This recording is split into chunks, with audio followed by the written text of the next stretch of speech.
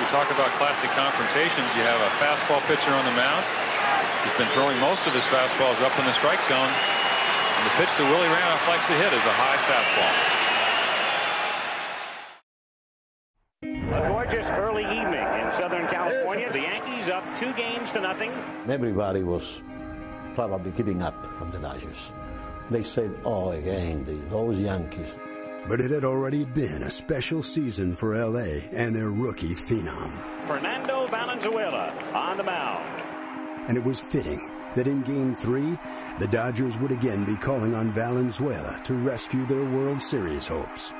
You've heard so much, read so much about his poise despite his youth, and he's going to have a chance to prove it here now. And staked to a three-run lead early, Valenzuela went to work. Yo creo que se necesitaba ganar ese juego, entonces estuvimos uh, siempre en problemas en el juego.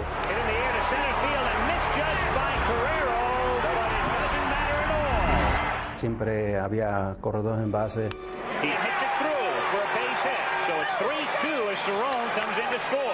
He wasn't as sharp as usual.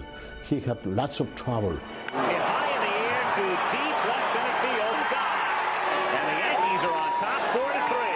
Lasorda came to the mound several times. He's struggling, isn't he? He's all right, Tom. Huh? He's all right. ¿Cómo te sientes? ¿Cansado?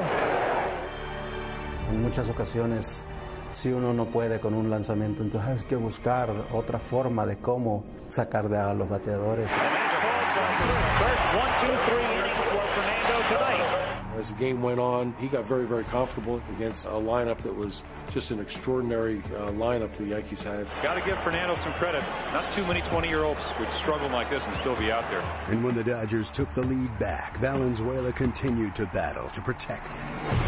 Valenzuela in and out of trouble all night. You know, they're totally right about this kid. There is amazing poise there. Two, two pitch. Fernando Valenzuela, who threw 149 Es uno de los juegos más emocionantes, más recordados en mi carrera. This was not the best Fernando game. It was his finest. Thanks in large part to the guts of Valenzuela, the Dodgers were back in the series. But as the start of Game 4 soon proved, momentum can be fleeting. ABC Sports presents the 1981 Series. Live from Dodger Stadium in Los Angeles, the New York Yankees against the Los Angeles Dodgers. Last night in Game 3, Ron Cey with a two-out, three-run home run in the first inning off Dave Righetti to give the Dodgers a quick 3-0 advantage. The lead was short-lived. Fernando Valenzuela struggling early, and a home run by Rick Cerone in the third with a man on gave New York a 4-3 advantage. But the Dodgers came up with two in the fifth to go ahead. Then the Yankees ran themselves out of a possible big inning in the eighth. Ron Cey turning this Mercer bunt into a double play. Dodgers win the game 5-4. Yanks lead in the series two games to one. Today, game four.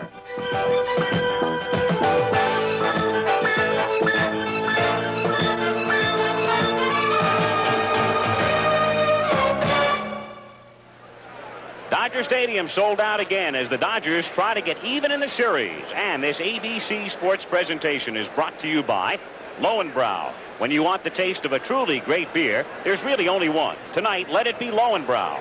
By Chevrolet, who invites you to see all the good things for 1982 at your local Chevy dealers. Chevy makes good things happen. By Gillette, makers of Good News and Swivel, the twin-blade disposable razors. Gillette puts two great shaves at your disposal and by General Electric. GE makes products that make life easier and better. At GE, we bring good things to life. And hello again, everyone. I'm Al Michaels. Welcome to Dodger Stadium, Game 4. The Dodgers sort of like this script. Remember, they were down two games to nothing in the divisional series and came from behind to beat Houston, down 2 to 1 against Montreal, beat the Expos in Montreal to advance to the World Series, down 2 to 1 now, and very confident as they try to even the series and in quest of their first World Championship since 1965. A crowd of more than 56,000 looking on at Dodger Stadium. Right now, let's join the PA announcer at Dodger Stadium, John Ramsey. And now, to honor America, here to sing our national anthem, is a great performer and a star of Days of Our Lives, Miss Gloria Loring. Won't you please join me?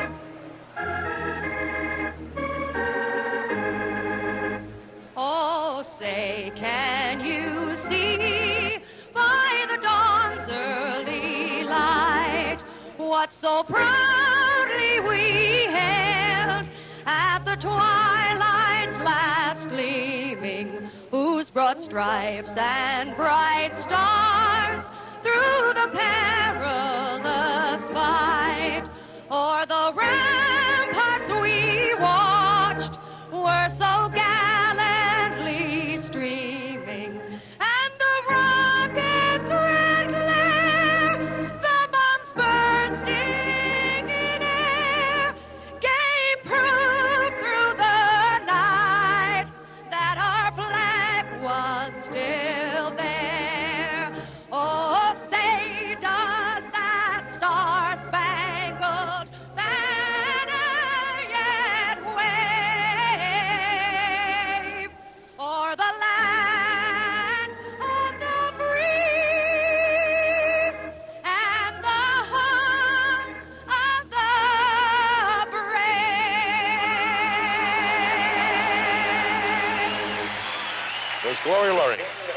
you, Gloria.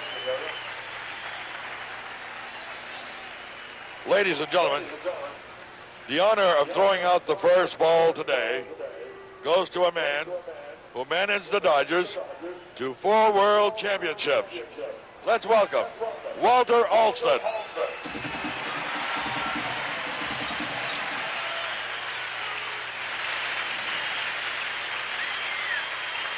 Walter Alston, a man from Ohio, a great pocket pool player, a quiet man. He came in, took over the then Brooklyn Dodgers. Nobody knew much about him. What a job he did. He managed them to their first World Series title ever. It was in 1955. Remember? The Dodgers lost the first two games of that series, but in game one, there was an augury. Jackie Roosevelt Robinson stole home on Whitey Ford. Berra went crazy. We look at it from another angle. It was in the ninth inning. The Dodgers were trailing six to four. Did Berra tag him in time or not? But then, the final game, game seven, the teams knotted at three apiece. Berra, Amoros just inserted in place of Gilliam. To Reese, the relay to Hodges. McDougald doubled off. Martin had been at second. They were two on in the sixth inning, and the Yankees were trailing two to nothing. Had Gilliam st still been in there, he would not have been able to make the catch. Alston in the clubhouse, jubilant with the winning youngster Johnny Podres. That's the way it was in 1955, and maybe the greatest memory for the man who threw out the first ball today, Walter Alston. Before I use my head and feeties, I get the Eaties for my Wheaties. Before a day of doing splitties, I get the Eaties for my Wheaties. The Eaties for Wheaties, that undeniable, irresistible urge for the crispy, crunchy, whole wheat taste of the breakfast of champions. Before I swing for the bleacher seaties, I get the Eaties for my Wheaties. Part of your good breakfast. Hi, I'm Chris Chambliss. You know, baseball is full of opportunities. In 1976, I had the opportunity to help the Yankees into the World Series, and this home run did it. Another place full of opportunities is the Army, where you can travel, learn a valuable skill, further your education, and get generous financial aid for post-service studies. So consider the Army, where you can be all that you can be. Call this number toll-free or see your local Army representative. The preceding message was furnished by Major League Baseball. Starting lineup for the Yankees, Willie Randolph leading off. Batting second, Larry Milbourne in the third spot. Hitless in the series, Dave Winfield. And then comes Reggie back in the lineup and Gamble back in the lineup. And then the big hitter for the Yankees thus far, Bob Watson. Rick Cerone with a hot bat last night. And Aurelio Rodriguez, Nettles still sideline. Rick Reuschel, a pretty good hitting pitcher. Al? Defensively for the Dodgers, Steve Garvey, two hits last night and five in the series at first base. The second baseman, Davy Lopes. This infield has been together for eight years now, since 1973. Bill Russell is the shortstop, and around at third, last night's offensive and defensive star for the Dodgers, Ron Cey. In the outfield for Los Angeles, Dusty Baker, who will be batting fifth in the order, dropping down from third in left. Pedro Guerrero again getting the start in center field. And around in right for the Dodgers, making his third start in four games, is Rick Monday. Back of the plate and making his first start, though he did play last night, came in as a pinch hitter for Yeager and stayed in the game. Mike Scioscia. And on the mound for the Dodgers is Bob Welch, who made 23 starts and no relief appearances during the regular season and no starts and four relief appearances in postseason play. Welch has not made a start since the 3rd of October, which was the day before the regular season ended. And here he is in an attempt to get the Dodgers even in the series at two apiece. Willie Randolph to lead things off for the Yankees, then Larry Milbourne and Dave Winfield. Randolph does not have a hit in the World Series. However, last night he reached base safely three times, walking on each occasion, as Valenzuela went all the way, yielding seven walks. But a gutty and gritty performance by Fernando. And the Dodgers winning it dramatically, five to four. So Welch looking in, and here we go. Randolph taking high for a ball. National League umpire working back of the plate. Doug Harvey.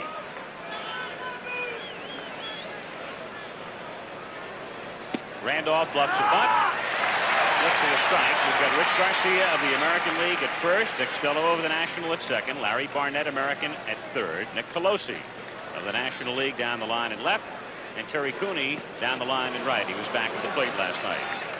Two and one on Randolph.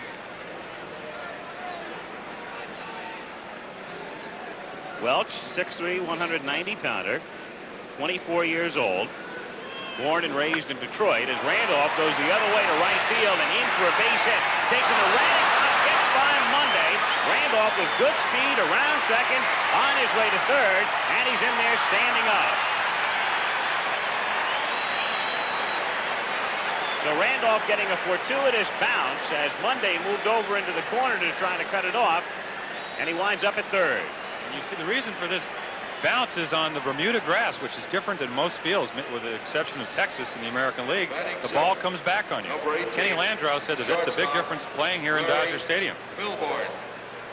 Monday knows he can't catch the ball, goes over, and the ball takes that reverse spin, goes right by him. As you said, Randolph has excellent speed, easily into third base. This is the ballpark where the ball takes funny bounces. Well, we saw that last night, but that was primarily in the infield. Larry Milbourne, the batter. Only Cey at third is in. Everybody else is back. And the pitch missing, ball one. One to oh. go. There's Cey in the cutout at third. A ground ball to any of the other Dodger infielders would produce a Yankee run. 2 and 0 the count on Milbourne. And there you saw the high fastball. Bob Welch, more or less a power pitcher, throws a lot of fastballs, has a good slider and a curveball. Strikes out at just about six a game pretty good control under under three walks per nine innings, but has not started a game in three weeks, and you wonder if that's going to have some effect today. Out of play, and the count is two and one. Two one pitch is lined down the line in right field. It's a fair ball. The Yankees lead it one to nothing, and it will be a double for Milbourne. Man reaching out, but the ball staying in play as Monday gets it back in. Milbourne coming in today hitting 406 in postseason play, and that'll go up a few notches. Winfield. And here again, as uh, he did on Willie Randolph, the leadoff hitter, he gets behind two and one, throws a fastball in the middle of the plate. Not too successful when you get behind major league hitters, especially in the first inning, and and he hasn't pitched for a while.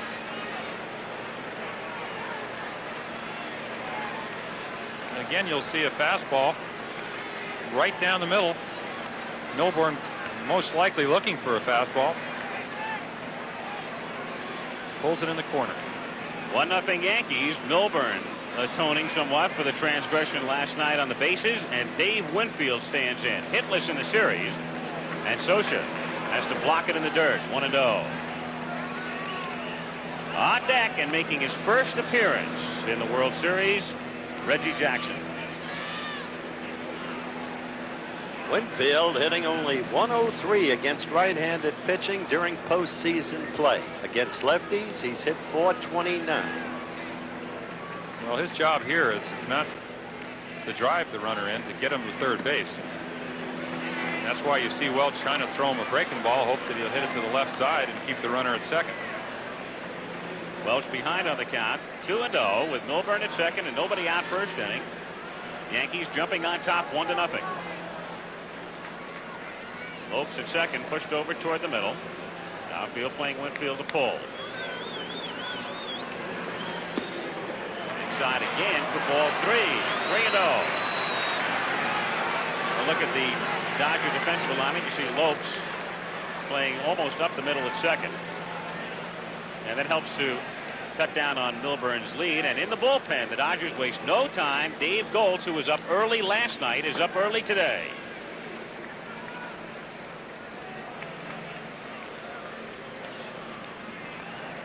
Three and 0 on Winfield.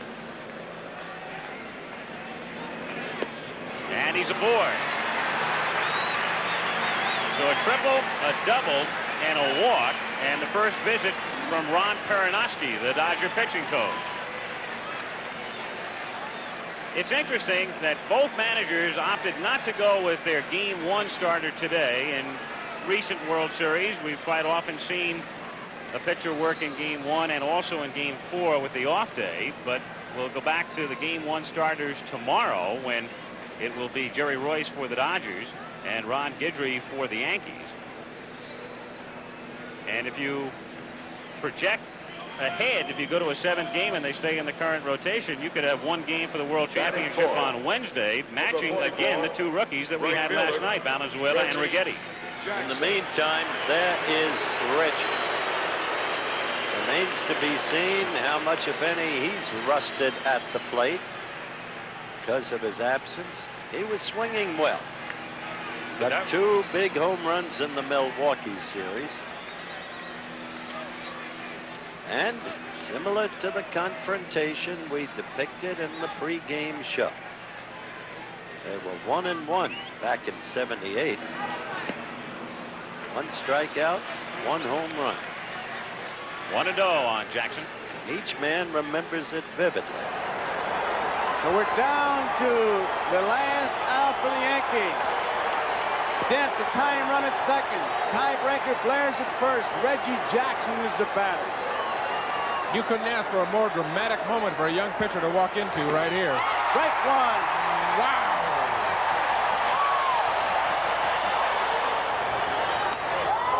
One ball, one strike. They've been sending that low bridge all night to Reggie Jackson. He really gets out of the way late, doesn't he? And you know the guy at the plate, a guy who just has a knack for knowing the greatness of a moment, Reggie Jackson. Fouls it back. The fastball mm. is one ball, two strikes, two outs. Fouled it back. What a battle. Out of play. Look at that study. Ball. Two balls, two strikes, two outs. Foul back. Jackson continues to battle Welsh. Welch continues to battle Jackson. High ball three. We're down to a full count. Three balls, two strikes, two outs, and they pick up the percentage now. Paul Blair will be off as soon as Welch starts at the plate. Quite possible he could score on that long single.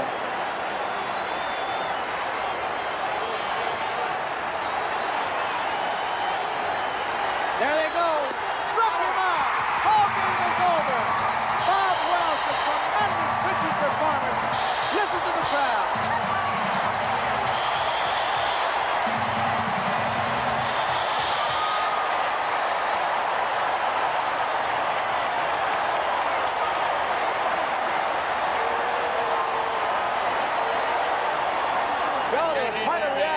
fist with Reggie Jackson. He thought he might have run up the bad pitch to end the ball game. He was very disgusted. His reaction is phenomenal. You watch it. When he finally got to the dugout steps, he threw the bat into the dugout among some Yankee players. He obviously was not aiming for them. We did not see it all, but there were some upset Yankees, not just because they lost.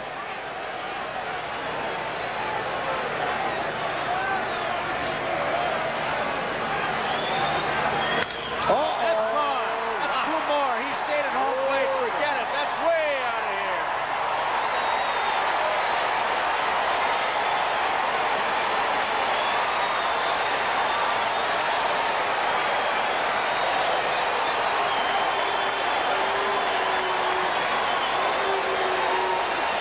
Reggie Jackson knew he touched one off. He's battled Welch, and he just showed I am the boss, youngsters. He really drilled one.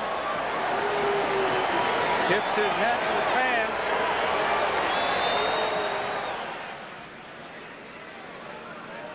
Reggie lifetime, nine home runs in World Series play, and five of them have come in this ballpark. Of the nine, eight have been hit against the Dodgers. The other three that weren't hit here, of course, were hit one night in New York. Well, he's faced four hitters and he's been 2 and 0 on all of them. And I always felt that if you're going to try to get out of a jam, you'd want a guy like Jackson up there because if you're going to be able to strike a guy out, Reggie, of course, is known for having a lot of strikeouts. Remembering back to the pregame show, Reggie went to his knees with that swing and miss just as he did in 78. And here you see actually a ball, but Reggie is not up there to walk. Goes for the high one, similar like you said back in 1978. And I have to think if he hits a ground ball, you're not going to see the Reggie Jackson that you normally see, a guy with pretty good speed because of the, the muscle tear.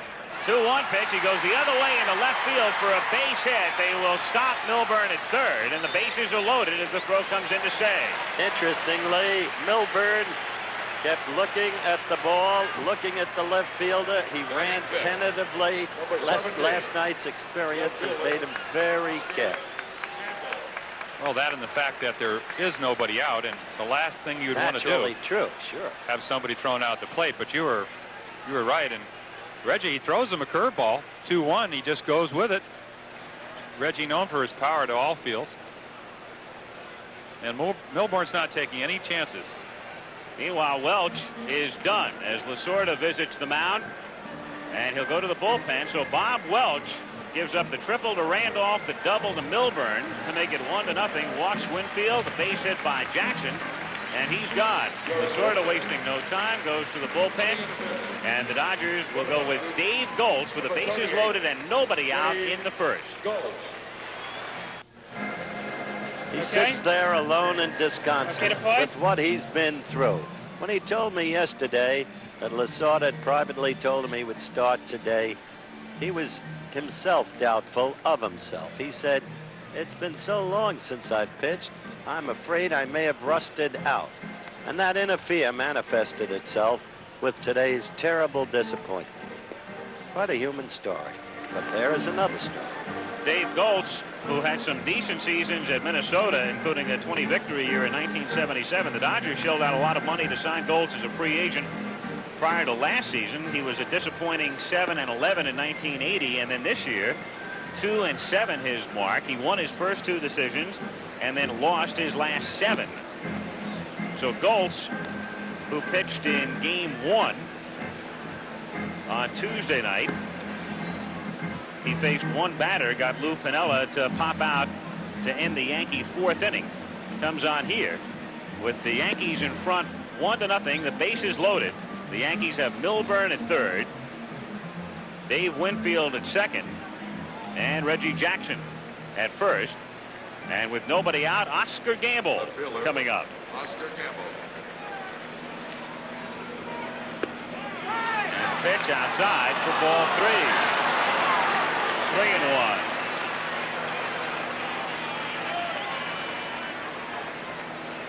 Well, as we said earlier when Oscar played, uh, he's up there to hit home runs, but he has an excellent eye. And he's looking for a ball in the middle of the plate. He's run the count to three and one. And a successful pitcher has to get his breaking ball over when he's behind the count.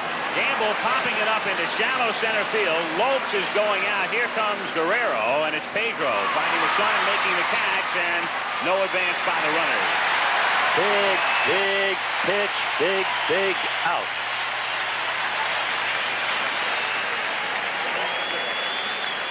So Pedro Guerrero, who has had his troubles in center field in the past couple of years at Dodger Stadium, in the daytime in particular, that ball hit a little too far to be ruled an infield fly, despite the fact Lopes went out for it.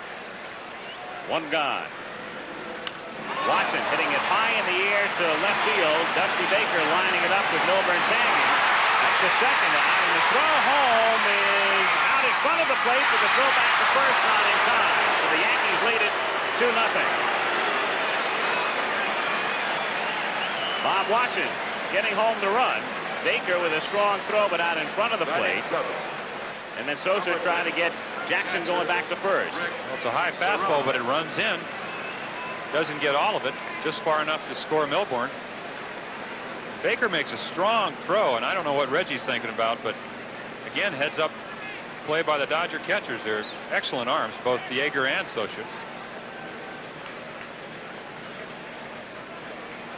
So Jackson getting back. If you're wondering, by the way, had they gotten Jackson, the run still would have scored.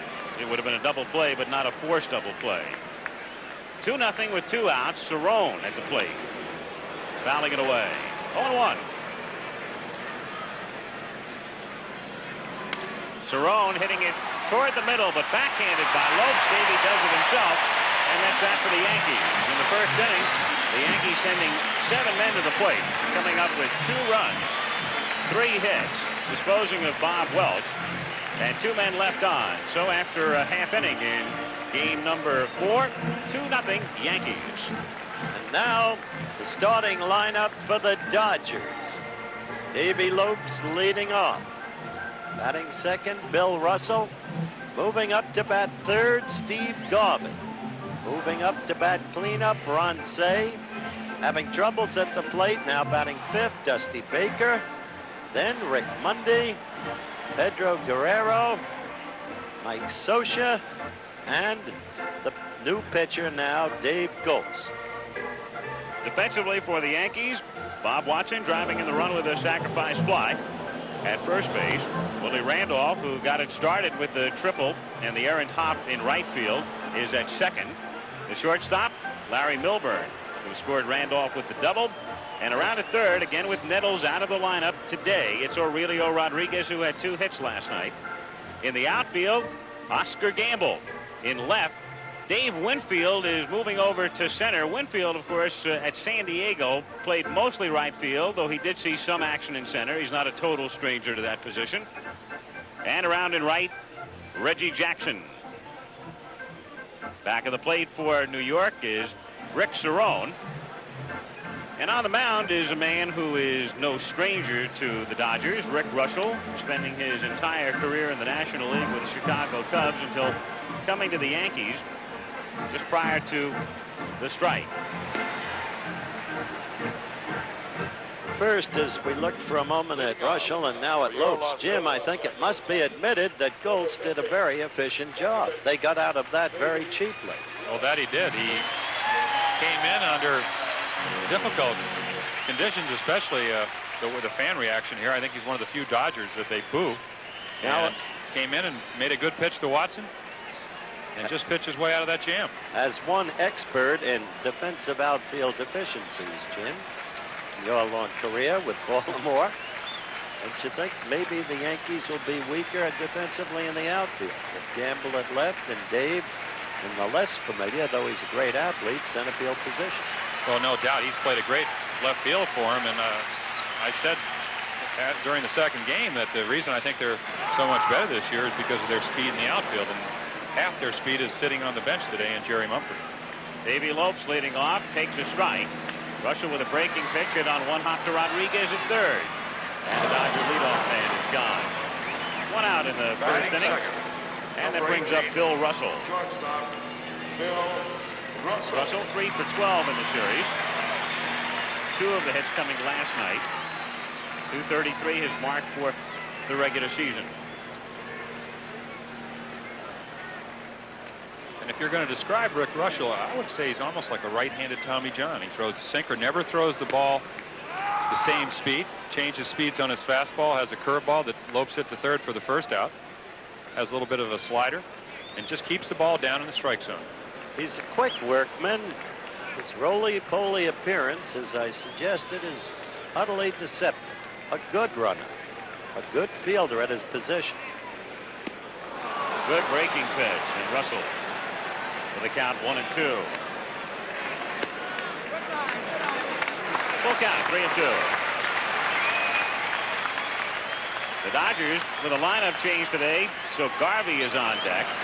Moving up from four to three as Russell hits a chopper to Rodriguez. Aurelio's strong throw is in time, so Rodriguez has handled both Lopes and Russell. And there are two down in the first inning with Steve Garvey coming up. Reuschel was 10 and 11 with a 3.43 ERA against the Dodgers in his 10 seasons with the Cubs. Remembering where the Cubs finished in those 10 seasons, that's not too bad, James. Well, also considering Wrigley Field, I think I've never pitched there, but you want to have a nightmare for a pitcher pitch in Wrigley Field when the wind is blowing out. And I think that's probably why most of the Cub pitchers have developed sinker balls. Your only chance there is to throw the, the, the ground ball. Garvey takes that. It's also why some of the Cub statistics are uh, not particularly indicative of the type of pitcher that would be working for Chicago. Your earned run average would have to suffer pitching half your games in It's that like park. in our league, uh, it's hard to really sometimes get a true indication of what statistics mean in Fenway Park, either for a hitter or a pitcher. Garvey goes to right center field for a base hit. Reggie Jackson with a long run to cut it off and get it back in. So Garvey is now 6 for 12 as he continues to sting the ball in the series.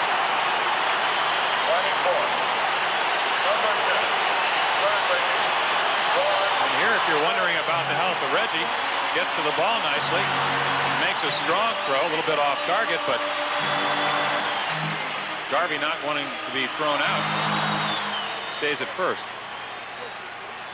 So the Yankees ahead 2 nothing. Bottom of the first, two down. Ron Cey. A home run last night in the first inning. He had a perfect night last night. Two walks, a single in addition to the home run. And of course, the great defensive play on Murcer's bunt in the eighth. Reuschel's had his number over the years.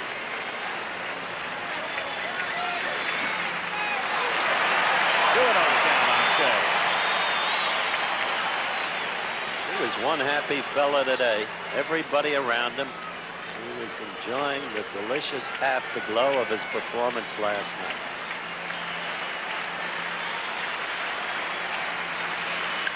Cey lining it to center field, but right at Winfield, who has no problem with his first chance of the afternoon.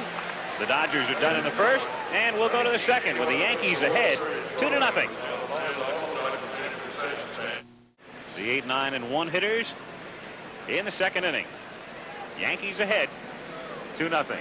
Goltz in relief of Welch. It's line just foul outside third, and that will provoke Joe Altobelli, who for a moment looked like he was headed for the third base umpire Larry Barnett in a beeline, but he backs off.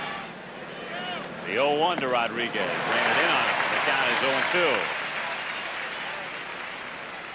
There you saw that good sinker that Goltz can throw. And he's the type of pitcher, if he keeps the ball down, that could be very successful, as you said, against a, a club like the Yankees, Howard. Fouled away, and the count holds. Fifth game here tomorrow. And it will be Ron Guidry and Jerry Reuss. Rematch of game one. If a sixth game is necessary, Tuesday, Yankee Stadium. Figure to be Burt Hooton and Tommy John. Fouled away. And as we mentioned before, you project to a seventh game, and wouldn't that be something? Valenzuela and Righetti for the world title. Interestingly, the Yankees like, uh, liken Valenzuela to Larry Gura. But old timers, knowing that Valenzuela is only 20, talk of him with tones usually reserved because that's what they expect him to become. Reserved for people like the greatest. There he is with the bubble gum. Carl Hubbell. Lawrence Bond, great left-handed screwball exponents of the past. 2-2 pitch. Rodriguez chopping it foul. Into the Dodger dugout, and the count holds. That's going to take a lot of doing, Jim, as you know. A lot of years, a lot of consistency, a lot of proof. certainly is. One year does not make a career. I don't mean to downgrade him in any moment, but you see a lot of pitchers come up, and second time around, the hitters adjust. I mean, you, just, you have to adjust, and he's shown the ability to do that this year. Kept it in there, and down he goes. That's the young man who said he was not nervous yesterday, disappointed in himself. He said he just couldn't get any pop on his fastball. That's probably from not pitching, uh, as he said, for seven days. It's interesting that, that both clubs had pitching problems. The Dodgers, because they had to go away from their five-man rotation and to, to go to a four-man rotation, or really three in this World Series. And the Yankees having their pitchers over-rested. And I think you saw the effect last night, both on Valenzuela and Righetti. Rick Reuschel at the plate. Fouling it straight back. And right below us. Where were you, Coach? He was gone. I was prepared to catch it. yeah. Catch it where? you were you were prepared for the parking lot last I looked. I remember I remember getting clubbed on the chest by Butch Hobson while Uecker sat next to me, the former great second string catcher, lying beneath the table and saying, get it, coach, get it. well, he didn't have his mask on.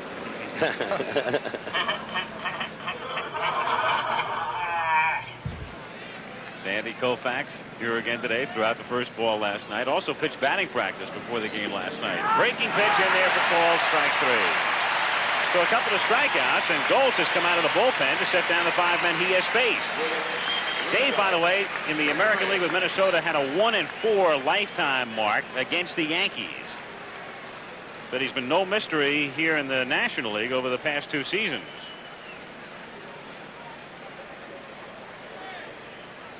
One and four, you say?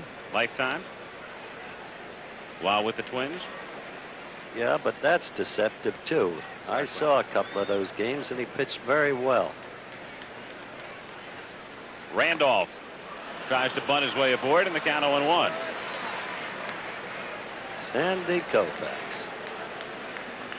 He's come a long way from Lafayette High School in Brooklyn. University of Cincinnati. Silver thatched now. But trim. Beautifully trimmed. Yes.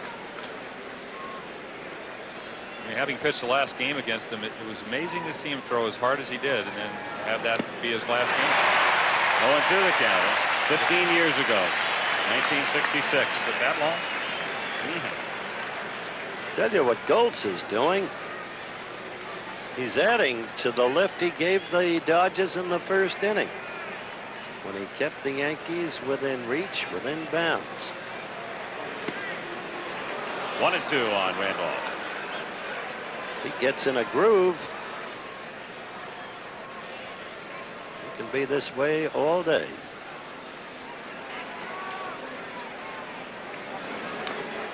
Randolph fighting it off. Count holding one and two.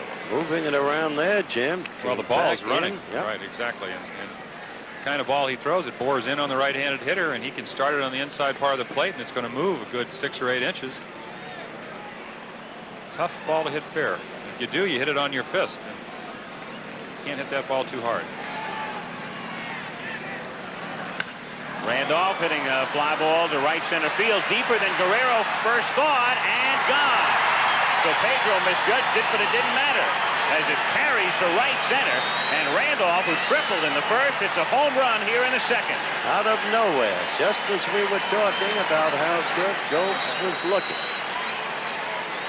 Willie Randolph hit only two homers during the regular season, but of course he had one against the A's in Game 3 in the American League Championship Series. And now another here. Well, we were also talking about how he got the ball inside. That one is right in the middle of the plate. And here's the difference between Dodger Stadium and Yankee Stadium. The ball just flies here. And you don't see Randolph going out over the right center field fence too often. But we did mention, Jim, that right center is his power out. Well, that's where he drives the ball, but if you were going over a scattering report of Willie Randolph, you would You say wouldn't that look he- for home runs. No, you would say he has double power. He did happen to hit one off me a few years ago. Is that unique? No, not at all. Not at all. Rick Monday said that he has never seen the ball carry the way it did last night. In the first three innings, maybe that accounts for some of the balls going as far as they did. That and the fact that they were bad pitches. 0 and 2 the count on Milbourne, who takes up high. 1 and 2. 2 2 pitch is chopped to the right side. Davy Lopes waits for it, throws him out. In the second inning for the Yankees, they stretch their advantage with a run, one hit, Randolph's homer. Nobody left on. At the end of one and a half, it's 3 nothing Yanks. Very quickly, a final score from South Bend, Indiana, where Southern Cal has wrapped up a 14-7 victory over Notre Dame. Notre Dame missed two field goals and fumbled the ball away in scoring territory late in the football game. The winner for Southern Cal, a 26-yard run by Todd Spencer with just over four minutes to go. Now back to the Dodgers. Dusty Baker up. Jim Lampley just told our viewers that the Trojans of Southern California have defeated the Fighting Irish of Notre Dame 14 to 7. Coach Faust having a very difficult initial year. Dusty Baker leading things off in the bottom of the second inning. 1 0 the count. 2 2 pitch is just outside. Ball three. Last night's start. Yesterday's hero. Dusty Baker, by the way, has a good career hitting record, 338 against Reuschel. Maybe this is the man to get out of the slump against. Line, but right at Milbourne, who cradles it for the out. One gone in the second inning. Batting second, number 16, right fielder, Rick. A lot of times on knuckleballs, excuse me, on a line drive, the ball will knuckle, and what Milbourne did what he should do, get right in front of the ball. So one away. And Rick Monday.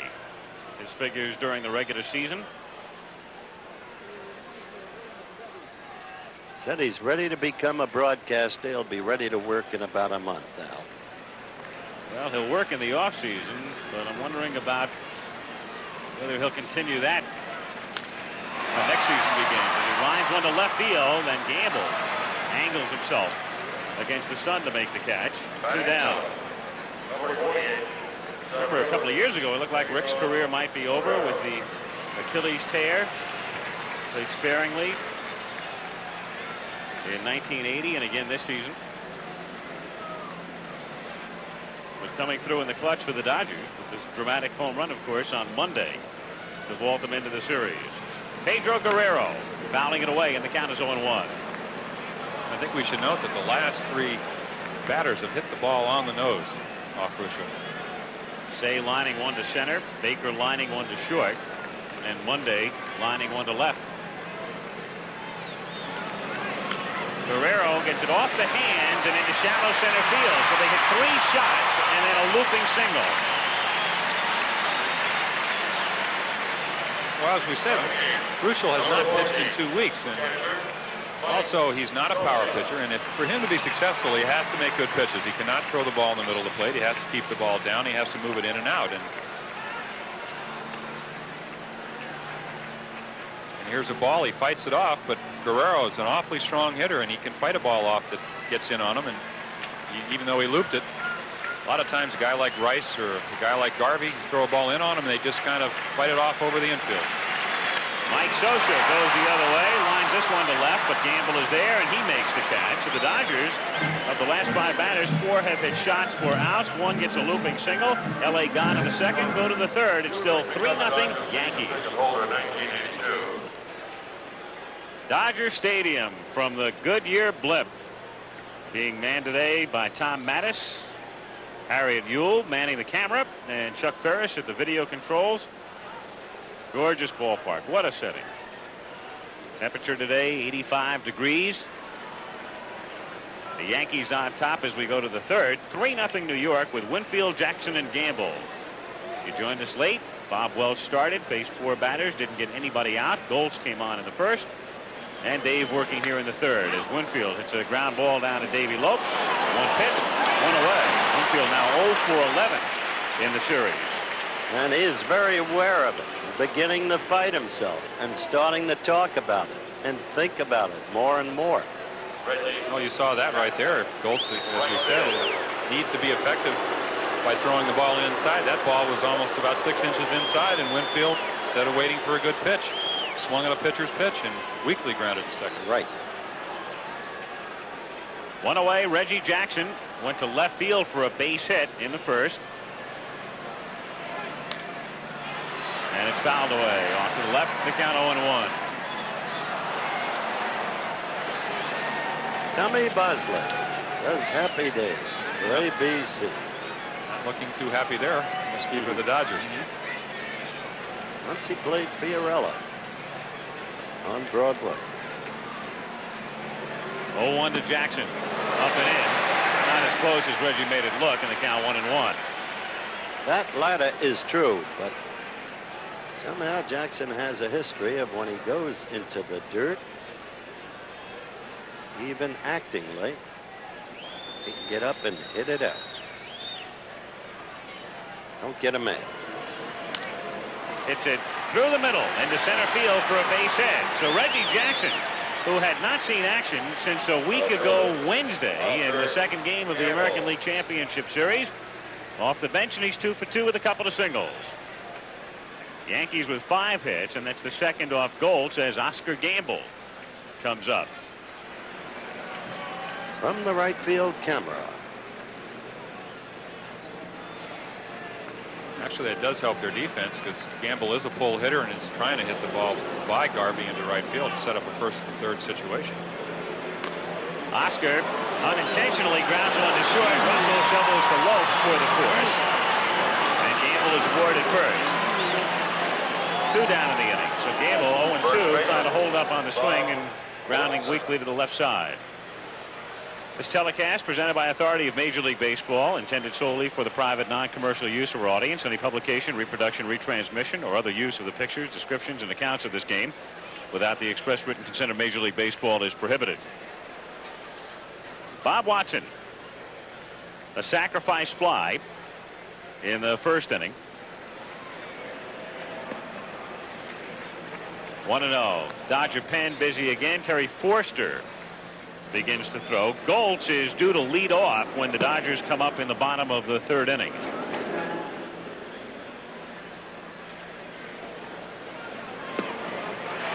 One and one.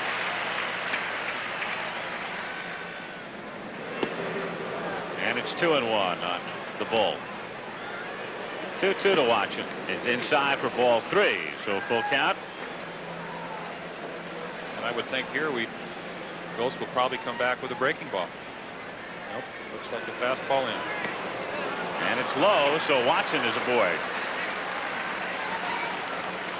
First walk given up by Goltz. It's our nerve center. A look down from the Goodyear blimp. Trucks outside Dodger Stadium. And a look in where a crowd of what I would guess to be better than 56,000. They had more than 56,000 last night, 56,236 to be precise, a new all-time stadium record looking on. And very, very quiet right now. The Yankees ahead 3 nothing. New York with runners at first and second, and two down in the third inning. Cerone grounded out in the first. Throw down to second, and Lopes falling down and one-handing it. Gamble getting back to the bag.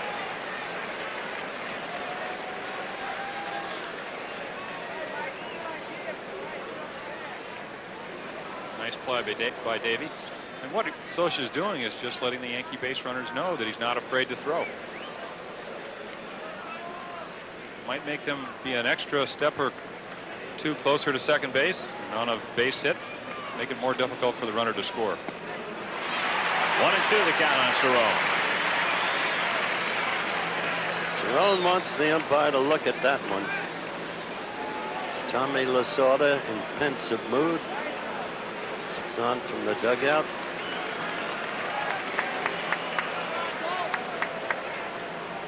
Lasorda questioned last night about why he left Valenzuela in so long. And of course, uh, Tommy, as it turned out, did the right thing. He said, look, it's the year of Fernando.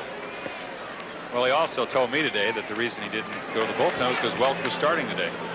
And I, I said, what inning would have been in the ball game last night? He said probably about the seventh. And they kind of gambled and won. Cerone grounding it foul outside third. One two pitch. It's fouled away again and Cerone taking that one off his foot. The one two pitch again to Cerone is hit foul again. Yankees two on two out third inning. Yankees leading three nothing. Gamble at second. Watson at first and the one two to Cerone again fouled away.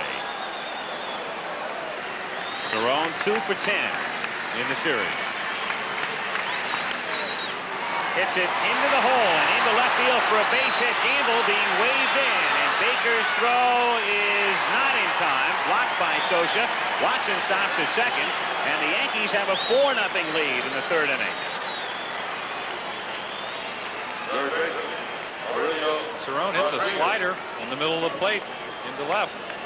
Gamble, who runs well, really, really not even close at the plate, even though Baker does make a pretty nice throw.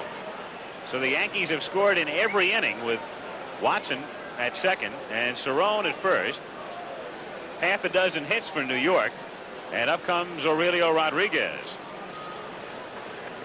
Forster in the Dodger pen. Lasorda, of course, would just love to see Goltz get out of this inning. Dave due to lead off in the bottom of the third as Terry is ready.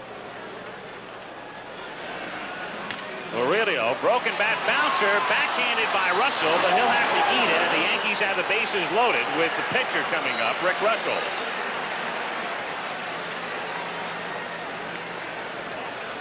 An infield single for Rodriguez, three hits in the inning for the Yanks. Another ball, ball off Aurelio's fist. Just happens to be in the hole, not hit particularly hard. Kind of have to question if, if Goltz is going to pitch all these right-hand hitters inside. You would think that Russell would move over a few steps because part of pitching is playing the hitters the way you're going to pitch them. And he was up the, more or less up the middle. And Goltz is pitching him opposite of the way they're playing him. Reuschel struck out facing Goltz in the second. 176 lifetime hitter and the count is 0-1. Reuschel with two lifetime homers. The last one coming back in 77. Rick this season as a Cub in the first half of the year was two for 25. Ground ball is short. Russell going to Lopes and the force ends the inning. But the Yankees here in the third pick up another run. Three hits. And they leave the bases loaded. They've stranded five. We've played two and a half, and the Yanks lead the Dodgers 4 nothing in game four.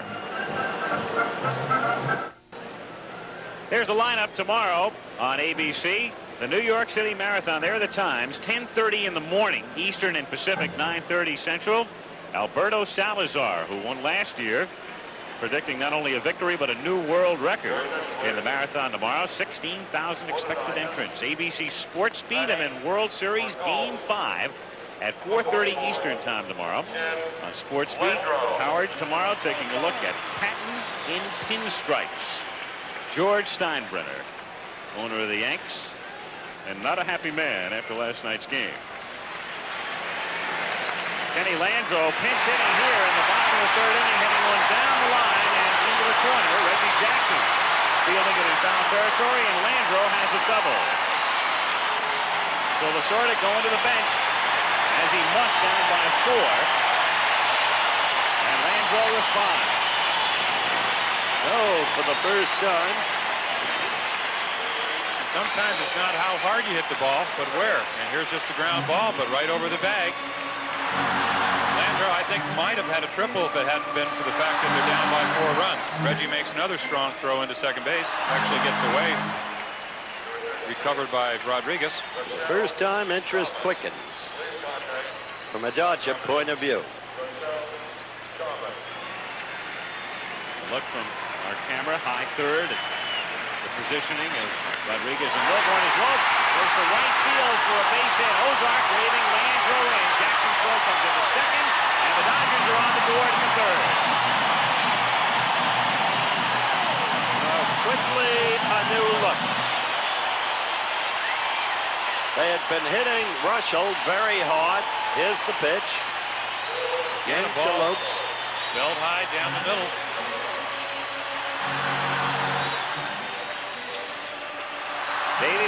Third hit in the series. The Yankee lead now four to one. Bill Russell, the batter, and the Yankee bullpen will get busy. Four of the five previous hitters to this inning when Landreaux came up had hit the ball hard against Reuschel. Russell grounds his foul, and interestingly enough, those four all lining out, and the one man who did not hit the ball hard, Guerrero, looping a base hit to center. Frazier, who pitched last night, George again throwing in the Yankee bullpen, back of Reuschel. In the third. Lopes goes. The pitch is outside. Cerone's throw, not in time, and Willie Randolph arguing the call with the second base umpire, Stello.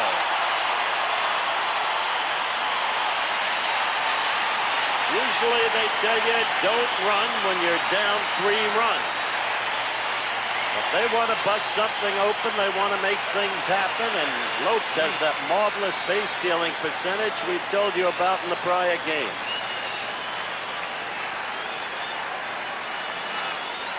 He was safe.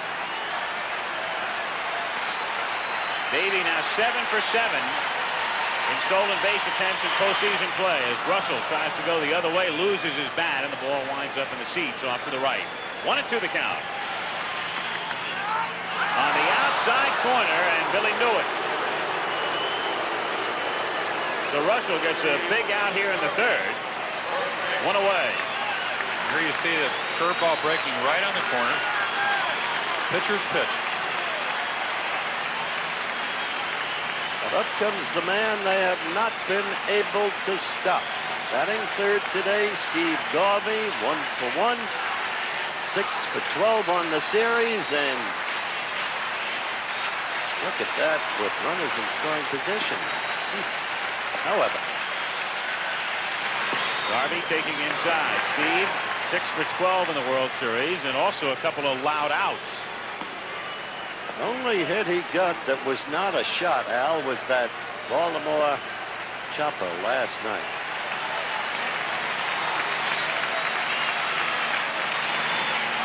Garvey, a slow bouncer to third. Rodriguez has no play. Behind him. Garvey has an infield single. He's got a patent on that in this ballpark. Ron Cey describes the way they put butcher boy at the ball. That's what Stengel used to call it. Hit down on it. The clay is not at third base. Uh, Jim, the clay is at home plate. It's the first bounce that does the job. And that's what we just saw.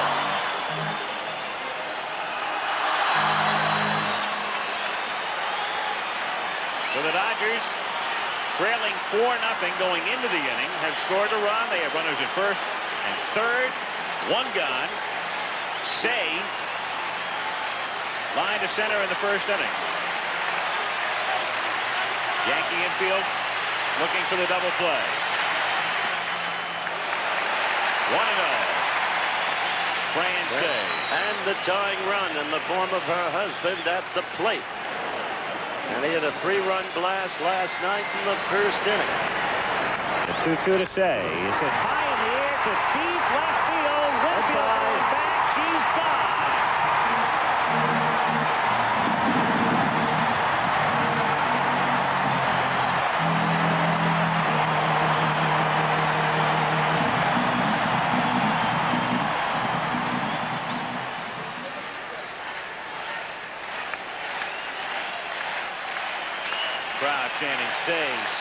say. The 2-1 pitch, a breaking pitch of beauty for a strike, and the count 2 and 2.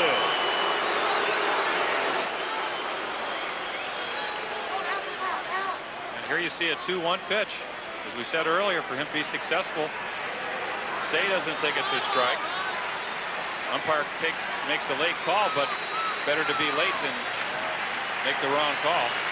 He thought, thought it was a strike. 2-2 pitch. Ball three, and the count is full.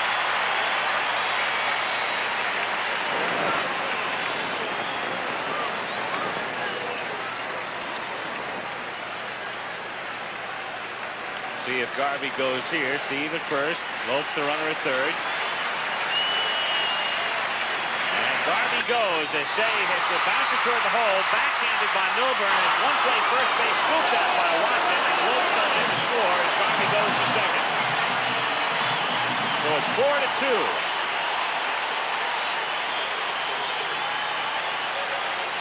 There you see the 3-2 sinker.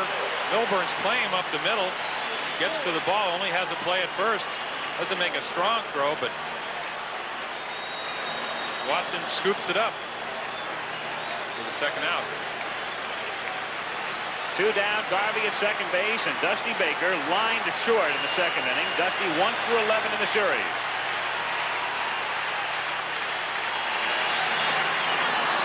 Oh, one. Dusty has been struggling, as he put it to me, for the last several weeks. But with a 338 career batting average, although look at him in postseason games, that graphic, things change and abruptly. 0 and 2. Down he goes. So he gets him on a breaking pitch. And the Dodgers are finished in the third, but they have the Yankee lead. Pick up two on three hits after three. It's the Yankees four and the Dodgers two. Third Dodger pitcher of the day is Terry Forster coming on in relief as we go to the fourth inning. Forster signed by the Dodgers as a free agent prior to the 78 season.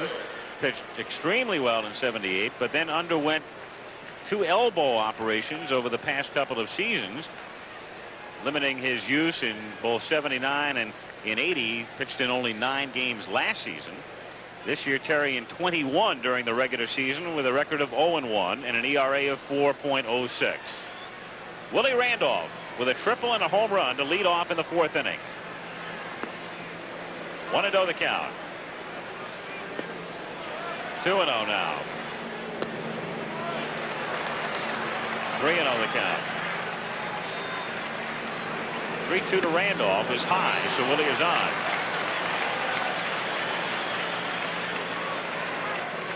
Larry Randolph drawing his sixth walk in the four games. His get on base percentage is just huge. Superb batting eye. Of course, he had an off year with a bat this year, but last year I think he was on like 43% of the time. And Still had a pretty good get on base percentage this year, even though, as you say, he hit only 232. Well, he had 57 walks. And...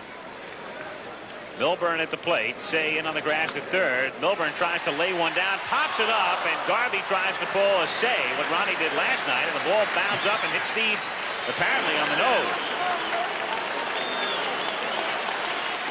But Garvey getting a hand as he goes back to his station at first base. And here you see Milbourne trying to bunt a ball over his head. Not a very good ball to bunt. Where you want to throw it in a bunt situation, Garvey makes a great effort, just can't get to it, and you'll see the ball bounce up, hit him right somewhere in the, either the forehead or the face.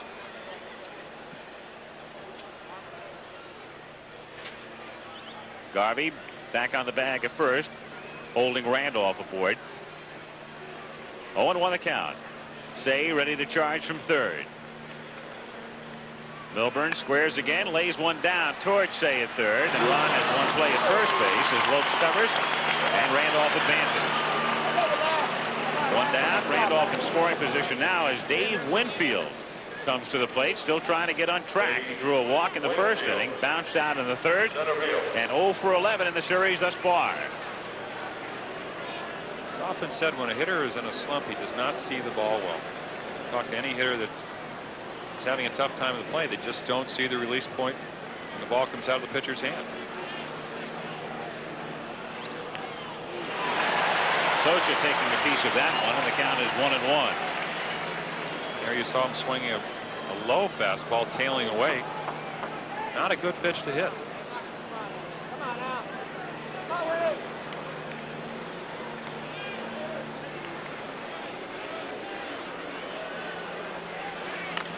Winfield, a chopper, backhanded by Russell, and they have Randolph trapped, and Bill throws to third. Cey running him back toward second, makes the catch. Winfield has to hold it first. It's just incredible how they keep running on balls hit in front of the runner. Look at this. Now you just don't go on that. And it's a long throw, throw to first, by the way, and Winfield has good speed, that loping stride.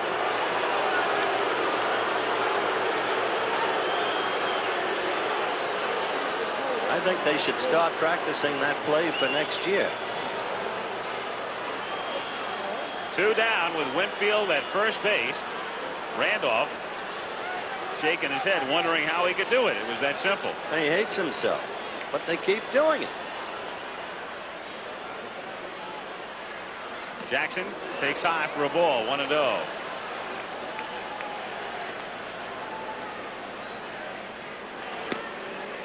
Ball two.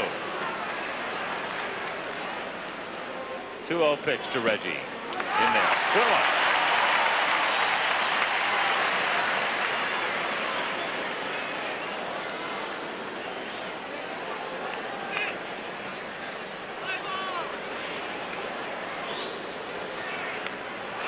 Fouled away in the count two and two.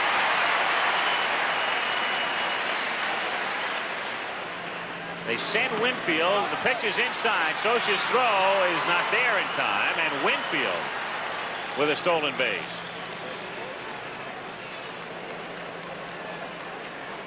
So with the count full on Reggie now, Winfield in scoring position. Look at that man's stride. That's what I meant. Randolph made it easy. The burden was on the Dodgers. On the Winfield grounder was in the hole. Russell has a questionable arm. It's been his one problem as a shortstop through the years after moving in from center field where he began. Winfield gets down quickly. 3-2 to Jackson is inside. So Reggie dances on down the line to first. Second walk issued in the inning by Forster. And Oscar Gamble coming up. Gamble 0 for 2 today. Look at him oh against 4 left-handers. Winfield at second and Jackson at first. 1 0 the count. And this is an un- this is an unusual move, mainly because the the Dodgers' other main reliever is Steve Howe, who's left-handed. You'd think that Piniella would come in the ballgame. Obviously, they'd like to add to the I lead. agree right here. with you 100%. Foul at the plate. And that's not to say that Oscar. Ki- I I know that the the graphic said that he's 0 for 11 this year, and I've seen him get many hits off left-handers, especially when he used to play with Cleveland because he played more often. But There's Lou. Seems to me you've got to go for the jugular, man. Don't have time to wait for tomorrow. Well, you're not hurting yourself because Piniella, back in 78, made the outstanding defensive play, plays against the Dodger in that World Series and has played very well in right field. Kept a triple from really a double from being a triple last night. Forster again missing inside. Two and one. Fellow up next. Something to think about, Mr. Watson. Well, Terry Forster knows that he has to get get Gamble out. This is this is the matchup you want. He doesn't want to face Watson. Three and one the count. If Gamble gets on, as he said, it's Howe in the bullpen there. I'm not sure if that's Howe or. Wait a minute, wait a minute. Right-hander throwing in the Dodger pen, Bobby Castillo. Oh, Castillo. my point was that the that their dominant reliever is Steve Howe. If you Mhm. make a move now, you might see a left-hander later. Gamble hits a ground ball toward the middle. Lopes is there, and nobody at second base, so the bases are loaded. Russell went over to try to make the play, leaving the base vacant. Davey had no play at first, and Gamble with an infield single. So Watson will be coming up with the bases loaded.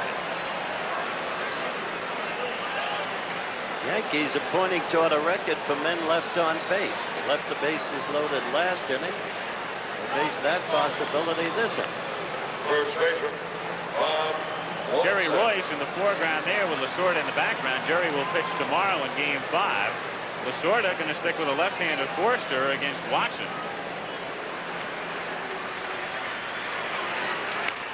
Grounded down to short. Russell shoveling the Lopes, and again the Yankees leave the bases loaded. When you do this, what they have just done, as often as they have done it, third time in four innings, the bases loaded, they failed at every point to break the game open. inevitably you pay later on. We'll be back. Dodger Stadium in Los Angeles, game four of the 1981 World Series. Al Michaels with Howard Cosell and Jim Palmer. The Yankees on top 4-2. The Yankees, though, in four innings have left eight men aboard. And the Dodgers come up here in the bottom of the fourth with Baker, Monday. With Monday to lead things off, Guerrero and Scioscia. Monday hit it on the nose in the second inning, but right at Oscar Gamble. One and oh the count. Look at that. It's like turnovers in football. That kind of statistic tells you a lot.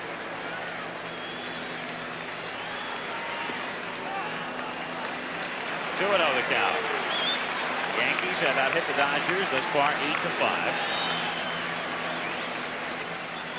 Three and oh the count. Frazier up and throwing in the Yankee bullpen again.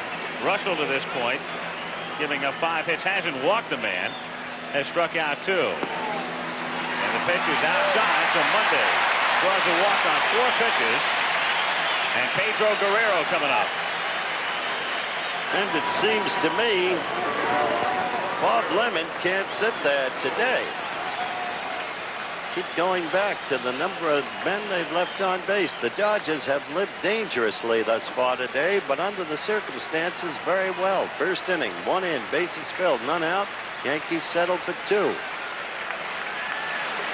Guerrero takes low and inside for a ball. One to go the count. Two other times, bases filled, and one case settled for one, another case for none. Two and oh the count.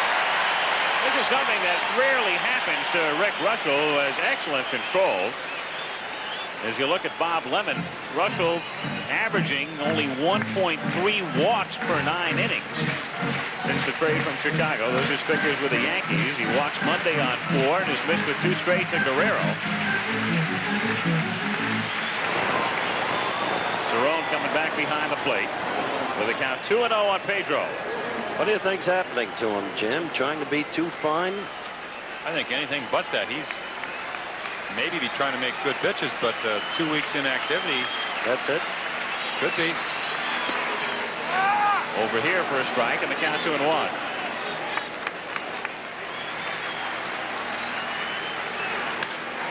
Line on a hot fly, driving Milbourne out into left field. Monday pulling in at second. There comes Lem.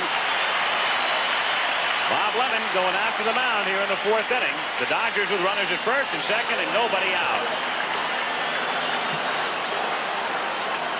Guerrero with a base hit here now two for two. Lemon looking to the pen and making the move. Here you see the ball by Milbourne.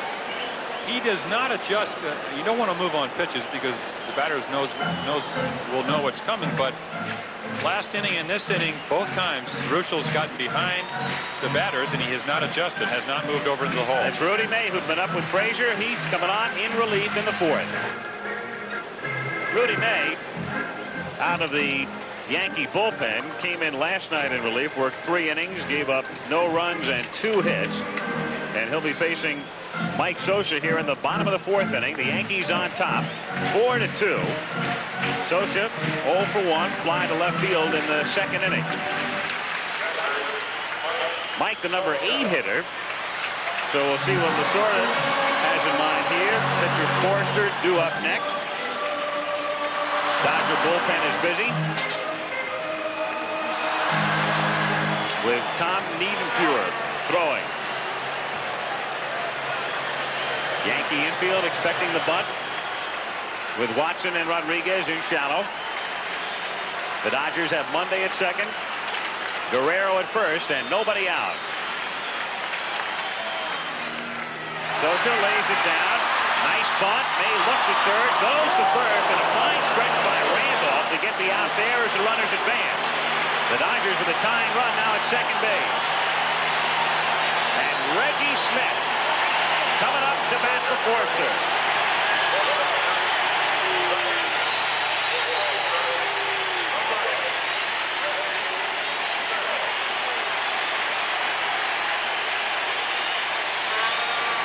Reggie Smith undergoing a shoulder surgery, limiting his playing time this year. As a matter of fact, he played defensively only twice on both occasions at first base, not at all in right field, his normal position, and up here in the fourth inning with Dodgers at second and third, the Yankee infield is back. They'll give up a run on the ground ball.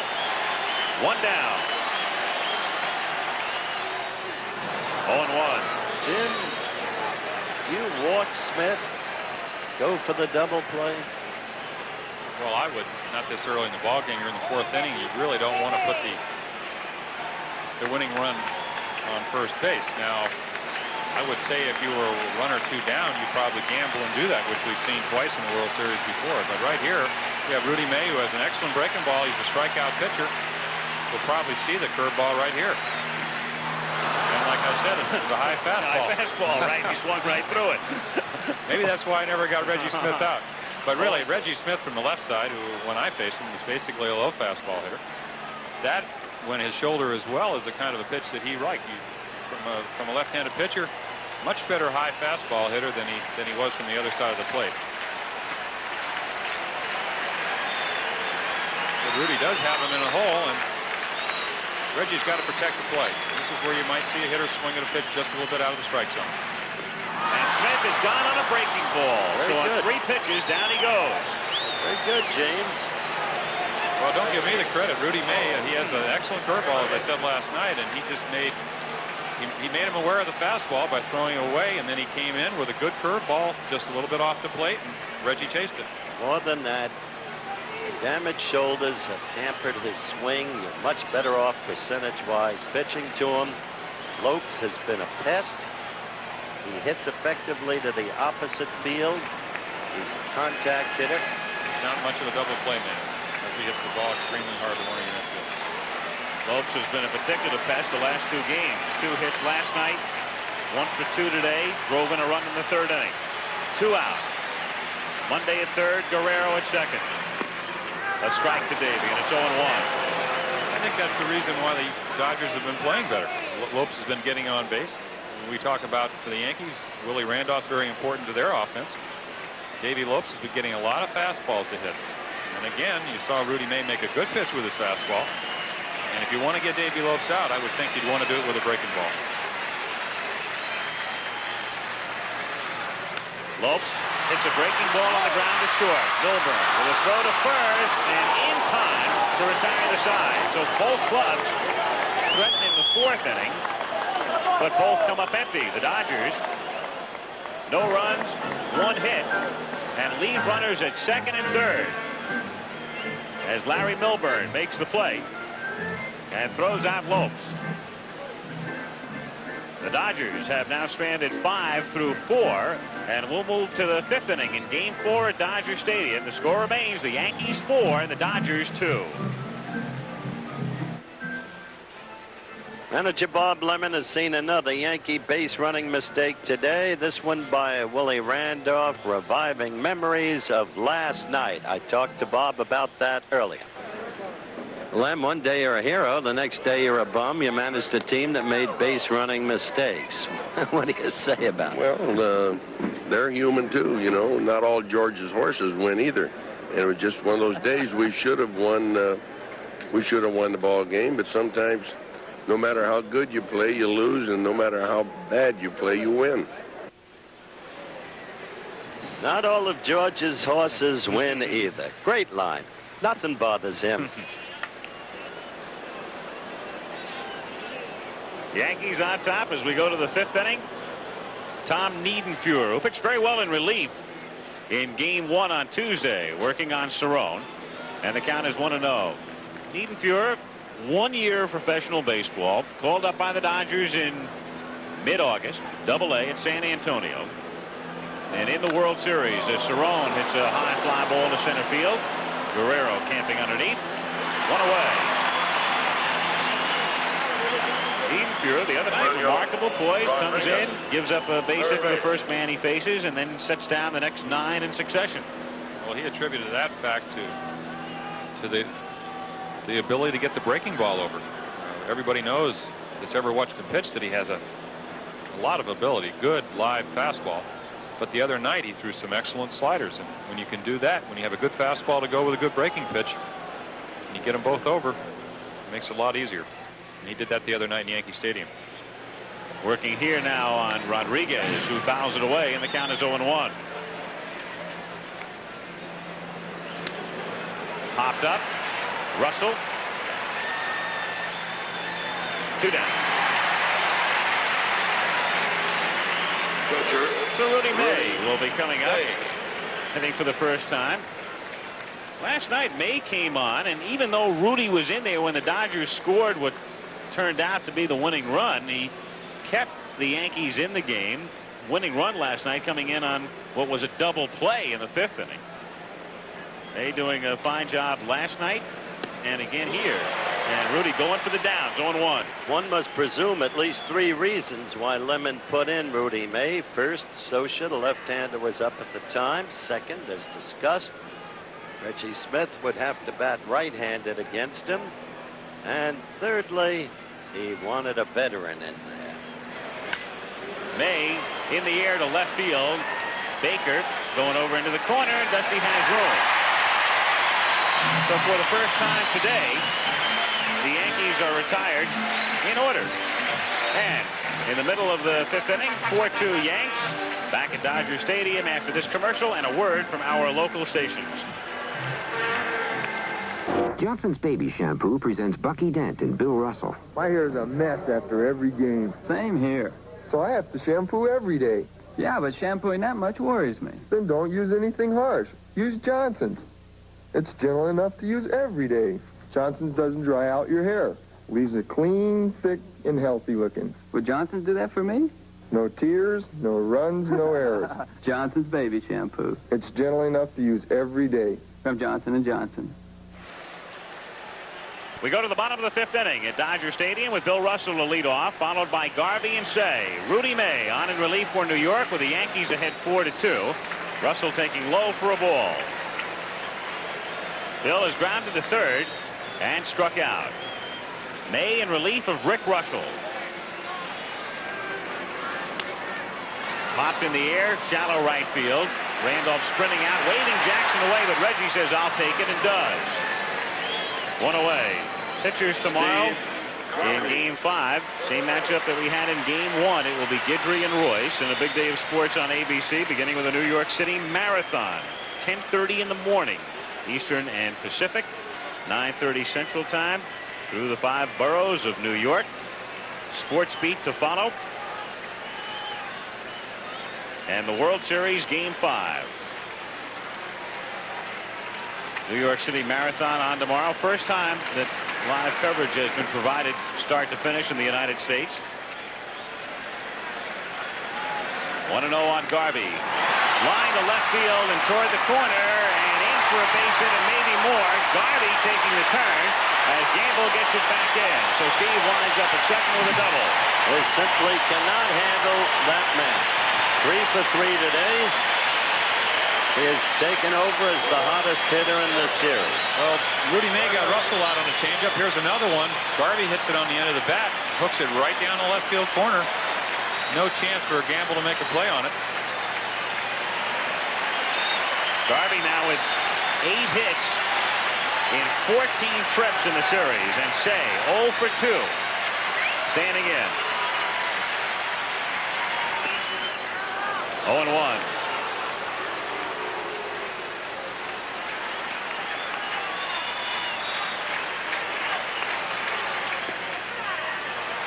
One and one the count. Yankee bullpen, Ron Davis throwing.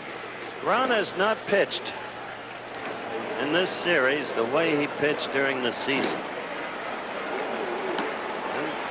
Well, he's been a good middle reliever. May not be in the top of his form. Cey hits it into left field for a base hit. Garvey around third. He'll come in to score. And it's four to three.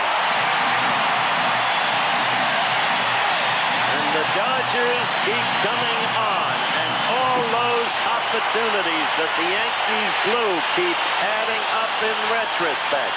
And you could sense the Dodgers coming on. Now it's a one-run ball game. And Lemon going to the mound. Cey has driven in two of the three runs.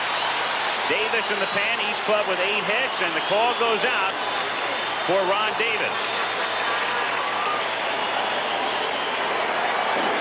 So Lemon has made his move. Davis coming in here in the fifth inning. Cey at first base is the tying run. Dusty Baker will be coming to the plate with the Yankees ahead 4-3. We'll be right back. Tomorrow, for the first time ever, live network start-to-finish coverage of the New York City Marathon. And on ABC Sports Beat, Howard Cosell one-on-one with the man behind the success and turmoil of the New York Yankees, George Steinbrenner, Patton in pinstripes. Plus, a look at the striking beauty who might just be the best lady golfer in the world. And the World Series continues. Quite a day tomorrow on ABC. Sports Beat, Patton and Pinstripes, Jan Stephenson, the fair lady of the fairways, fairways, and if everything works, Ingemar Johansson after he runs that New York City Marathon. It's built more strongly than Alfalfa Mike. right. Ingemar may win that thing tomorrow, huh? we'll be originating Sports Beat live from right here, the World Series. Ron Davis still loosening up. Dusty Baker getting ready to come up with one out in the fifth inning. Yankees have led all the way. Two in the first, one in the second, one in the third. But the Dodgers picked up two in the third to have the advantage. Got a run over here in the fifth inning on a double by Garvey and a single by Cey. And the tying run, Cey is at first base with one away. We've talked about character in teams before, but ever a team is showing character, it's the Dodgers. 0-1.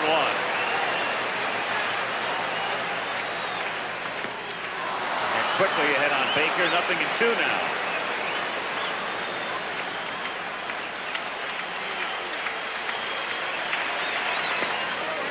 Ball strike three. Baker really upset over Harvey's call. As Davis gets a strikeout and the second out of the inning. How'd that look to you, Jim? Well, I've been watching, watching all day, and here you see a fastball, and it runs in a little bit.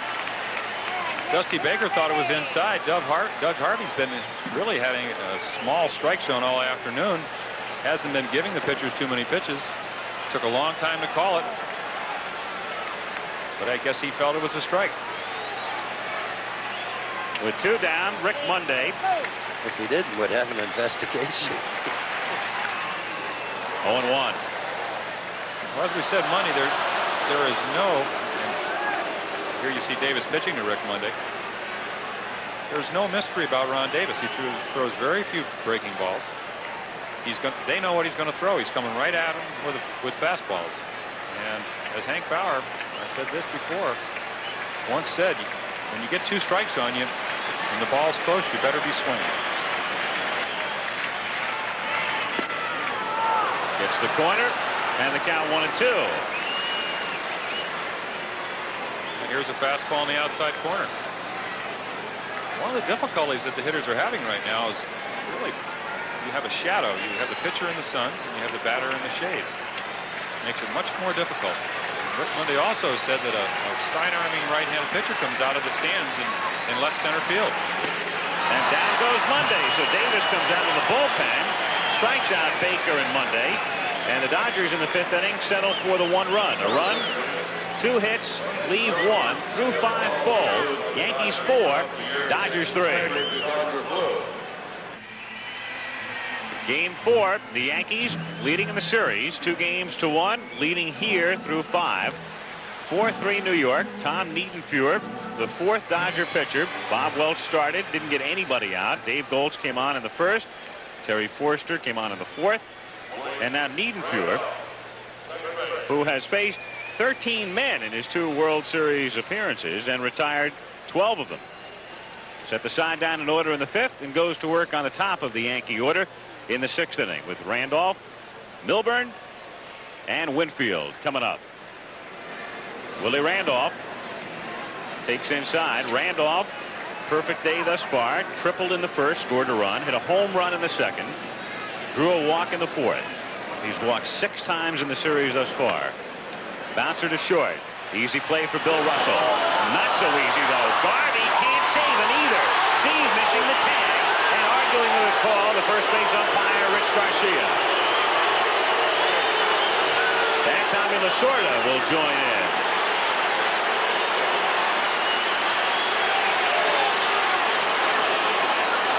Here you see, as Howard said earlier, the only thing wrong with Russell at shortstop, sometimes he makes some, some erratic throws, and you saw in the replay, Randolph reacts well to get underneath the tag. Can't really tell from that angle whether No, you really can't. And in point of fact, the umpire was not that well positioned. Like a referee in boxing, behind a fighter, belaboring another fighter, but not able to see the degree of punishment being administered.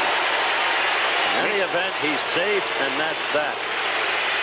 Tommy, of course, loses the argument, but gets the crowd stirred up. As Larry Milbourne gets ready to stand in. Milbourne, one for two plus a sacrifice. We may possibly see another sacrifice here. Say expecting one. Ron in on the grass at third. Throw over to first to drive Randolph back. Lemon may be, he may be of a mind to let Milbourne hit, maybe hit and run even. Bunch foul. Not there. 0-1. Why? Because Winfield is going so badly. Here's still another angle on that tag. Let's see if we can see him. It's so hard. So hard. Russell, of course, charged with an error. Dodgers have now made four in the series. The Yankees just one. Milbourne squares again. They pitch out, but Randolph not going anywhere. One and one the count. Bunted foul. It's a foul ball. Then scooting out into fair territory, so the count is one and two. Popped up, shallow left field, and a play for Dusty Baker as he crosses the line. One away in the sixth inning. And Dave Winfield coming up. So they were going for the bunt originally, and they couldn't execute. Heard those words before. Winfield 0 for 2 today. Two hits in his last 30 at-bats going back to the league championship series and the World Series. Still hitless, hitless in 12 trips. You send Willie here, Jim? Well, Niedenfuer has a big windup. I suppose if he's going to be running, it would be easier to steal off this kind of delivery. It takes a lot longer to get rid of the ball than, than Goltz or Welch. I would think that the way Winfield's hitting, you might want to hit in front. Might want to have the infielders moving a little bit, open up a hole for Dave.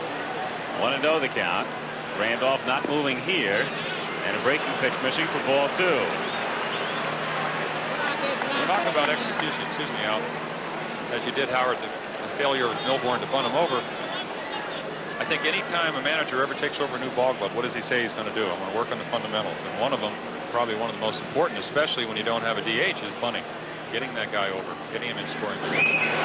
Close play as Randolph has to dive back into the bag. He's gotten two good calls from his point of view. I'll tell you that was close. No, he was in. 2 and 0 on Winfield. Trying to shake the slump.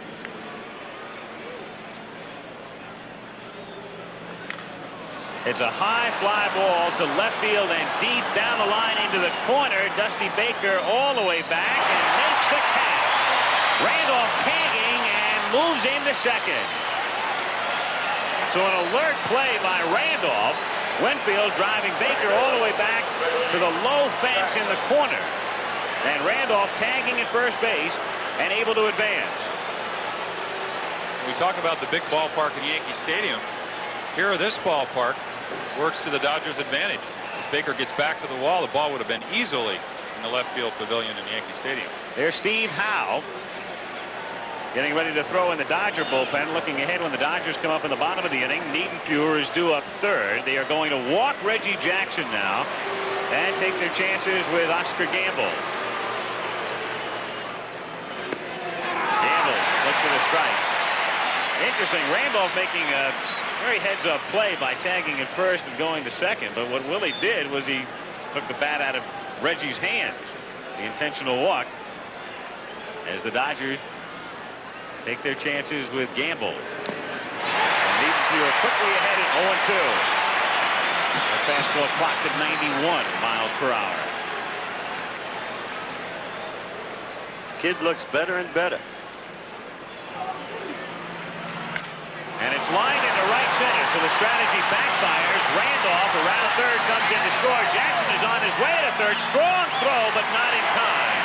Reggie is in safely, and the Yankees now lead it 5 to 3. Let's see how Jackson is. He started limping. He drove himself into this right there. He beat it, yes. Took a lot of guts on his part.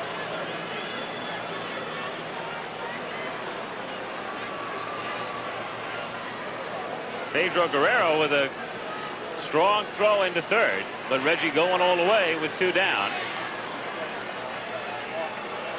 And in there. Five to three Yankees with Jackson at third, Gamble at first, and Bob Watson 0 for 1 today with a sacrifice fly and a walk. 0 and 1. Out of play. Still 1 and 2 on Watson. Bob's wife Carol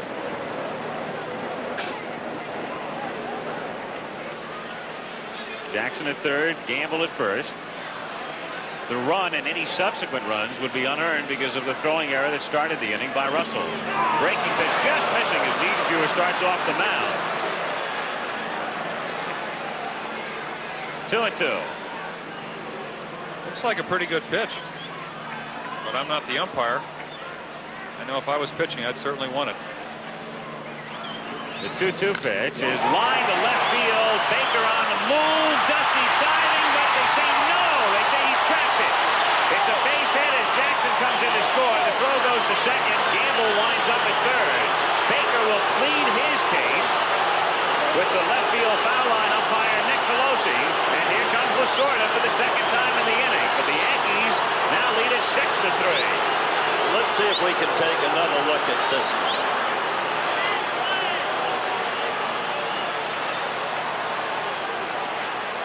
There it is. How did it look to you, Jim?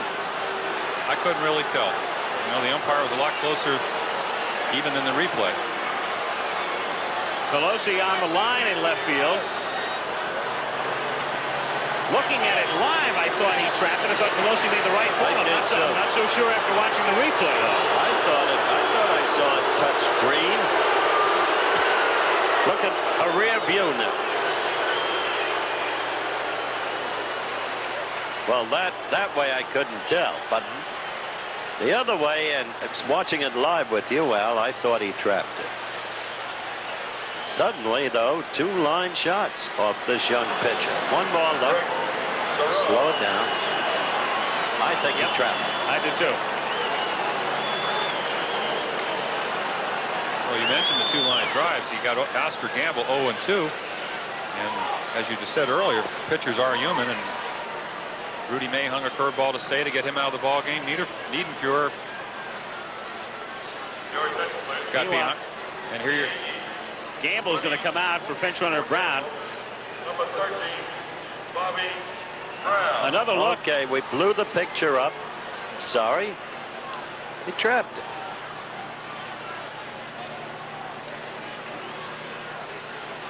That's the call as the Yankees lead at 6 to 3 and Rick Cerone at the plate. It's a fly ball to right center field. Rick Monday coming on and makes a catch, but in the inning, the error by Russell very costly. As the Yankees come up with a couple of runs, they're both unearned on two hits, leave a couple, and at the end of five and a half, the Yankees lead the Dodgers six to three. Another record crowd shows up for Game 4 and is treated to more thrills, spills, and chills than even the night before. The debut of Reggie Jackson sets the torrid pace.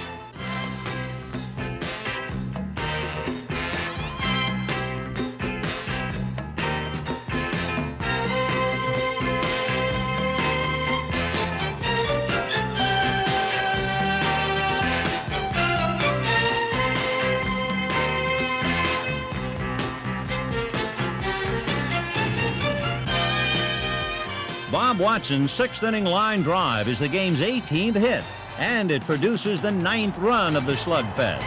But Dusty Baker interrupts the relentless drama to argue the trap ball ruling made by Nick Colosi, and the Dodgers' tempestuous manager joins the uprising. Nick, he caught the ball. Nick, I swear to God, he caught the ball, Nick. You weren't even out there to see it. He knows whether he I caught know, the I know ball. what he caught it. All right, then he thinks he did. Okay, but haven't you ever missed one? Well, then you missed that one. Are you going to see it on the? Are you going to see it? How can you see that? You're going to see it later on. I'll tell you what, you're going to see it on the TV, and you'll see it. Huh? That ball did not hit the ground. He said he caught it. He ought to know. Probably even Dusty doesn't know for sure, but one thing's certain. It'll go in the books as an RBI single for Bob Watson, and Lasorda will go away unhappy. All right, Jim, and for the Yankees, Dave Winfield moves from center to left. Bobby Brown, who went into pinch run for Gamble after Oscar had reached third in the top of the inning, stays in the game in center. Yankees ahead six to three in the bottom of the sixth inning. Pedro Guerrero leading things off for Los Angeles. Very interesting that he put Bobby Brown. There's Tom.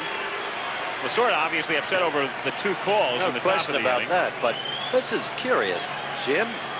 He puts in Bobby Brown, who has played so sparingly, instead of Jerry Mumphrey in center field, who's been his regular center fielder all year, and is a gifted fly chaser. I have no idea. Got an opinion? Guerrero. It's a fly ball to right center. Bobby Brown is there. No problem with this one. One away. Oh, he's a good fielder, Brown. Nobody's deprecating his defensive ability, but it's kind of odd, I think. Well, you think Jerry Mumphrey would have started the ball game, considering he's one of the two guys on the Yankees that can run. Finally had a right-handed pitcher, and Bob Welch. He also is the highest batting average for the Yankees this year, but I think they're a little bit disappointed with his hitting so far here in the series. Now, he was, he, we pointed out he was the out man last night. He fought well exactly the wrong way. Scioscia the batter. Low and inside, ball one. That's Dave Stewart throwing in the Dodger bullpen. He'll come on in the top of the seventh inning. Scioscia batting here, the number eight hitter. Niedenfuer due up next. No doubt won't hit. And as yet, the Dodgers have not sent anybody out into the on-deck circle, though Jay Johnstone now has a bat in the dugout. 2-0 the count on Scioscia. Even with nobody on. Deals 2-0 and misses for ball three.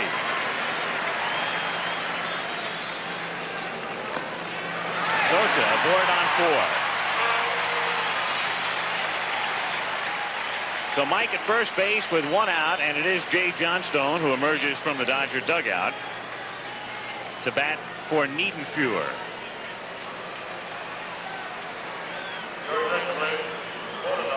Johnstone, despite the low average during the regular season, had three pinch hit home runs this year. Tops in the league. I was sure we'd see him today, even if Reuschel had pitched very well and been able to stay in, in there, because his career batting average against Reuschel was 432 with a 727 slugging percentage. Davis having trouble with his control, as Jim Palmer has stated. Gets this one in for a strike, 0-1. We saw Johnstone in the first game come in and single crisply off Gossage to right field, and then Hold he lined out in the second game, again off Gossage. One and one the count. On the subject of Gossage, it might not be long before we see the goose in the Yankee bullpen, but not at the moment. Johnstone fouls it away.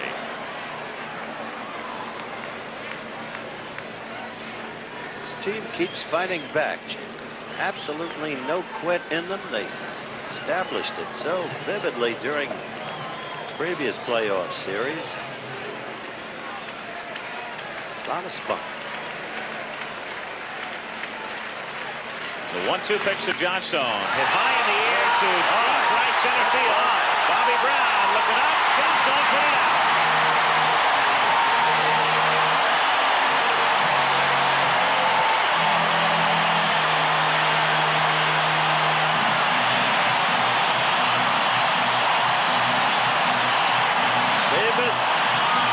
Been pitching the way he pitched during the season. And this team, what character?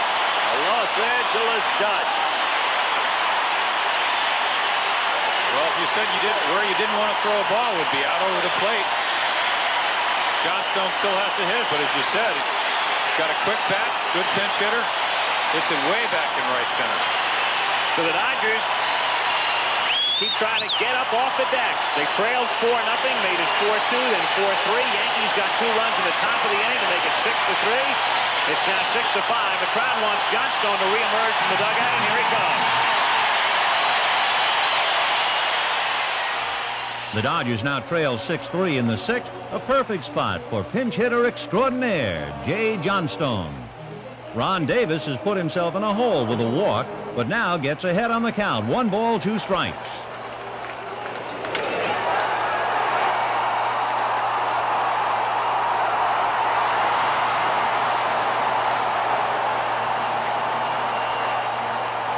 Ironically, Johnstone was a member of the 78 Yankees, so he's the only Dodger to play on a World Series winner.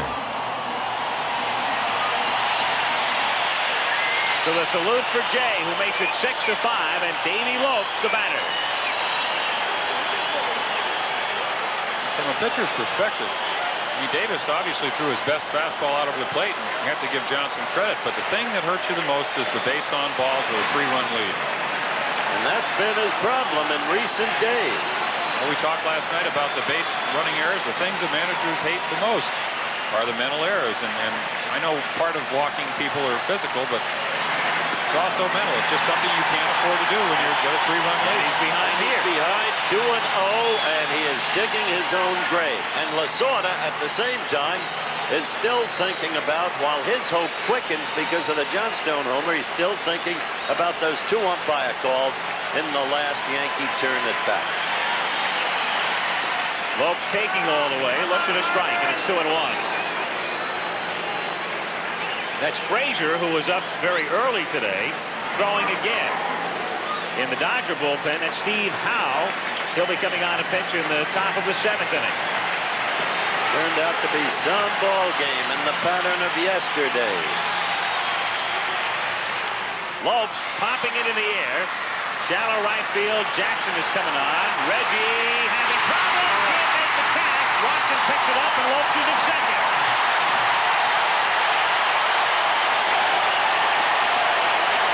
Reggie played that ball as if he never saw it.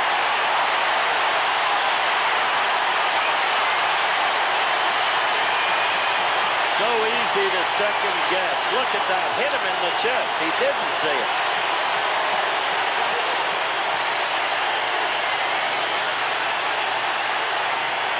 So easy to second guess. Put your best defensive outfield in there, beginning three runs ahead in the bottom of the sixth. Bill Russell, the batter, a chopper foul outside third. Mammoth break for the Dodgers as Lopes is at second. One away in the bottom of the sixth inning. Yankees ahead six to five. With Reggie limping, you had to wonder about an outfield of Brown and Mumphrey and Winfield. But it's easy to second guess, isn't it, Jim? Well, brings back memories of the 66 World Series where in the game I pitched against Koufax, Davis dropped the two fly balls. After he dropped the second one, he picked it up and threw it about 10 rows over their dugout. Very tough sky here sometimes in Los Angeles, especially uh, as you saw with Reggie. Once you don't see the ball, it's very hard to pick it up again because you're looking right into the sun. Had his glasses on, did everything right except catch it. Lopes is going to third, and he'll make it uncontested. Davis, what? unbelievable.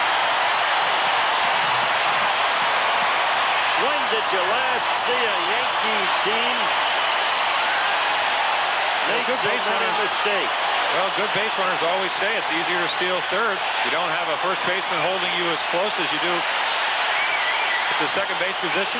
The 0-2 pitch with the infield in is fouled away. You had to have a feeling about these Dodgers the way they kept coming back. Line drive, base hit, and the game is tied.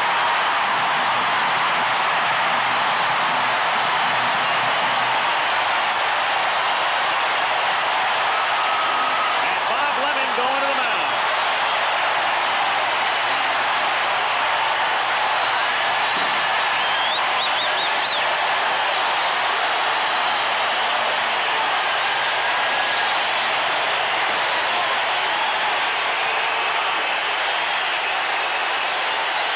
So the Dodgers, with three runs here in the sixth inning, have tied it at six.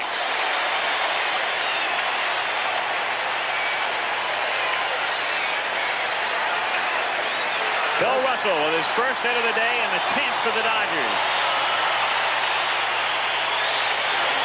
And the call has gone out to the Yankee bullpen. It will be Frazier coming in here in the sixth inning with Steve Garvey coming up for Los Angeles. So Davis, who came on in the fifth inning and looked like the Davis of old, striking out Baker and Monday, comes apart and unglued here in the bottom of the sixth inning as Frazier comes out of the Yankee pen.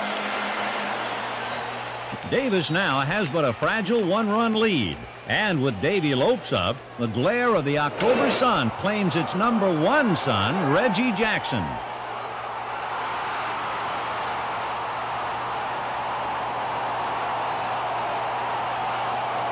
Lopes ends up at second, and the sounds of a Dodger rally are loud and clear.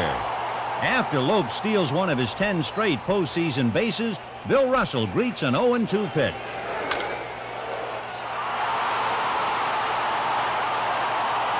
Los Angeles gets its sixth run. The Dodgers, who seemed out of it at 4-0 and then 6-3, have fought back to tie. Now the burden is on the young man who pitched well last night. Who got the bad breaks on the Baltimore chops by first Garvey and then Guerrero. But this suddenly has become a series in which every key mistake is being made by the Yankee ball club. And it's a fan series. Never mind the mistakes, they get the excitement they want out of it. In this case, the excitement goes for the Dodger fans because the game is in Los Angeles. There is Davis with Joe Altobelli, the third base coach, in the foreground as Frazier completes his warm-ups. Saw that aerial shot from the Goodyear blimp. Dodger Stadium really rocking. It's been a quiet crowd early. Of all people, oh. early. Al, of all people to be coming up, the man who's three for three, Steve Garvey. And eight for 14 in the World Series.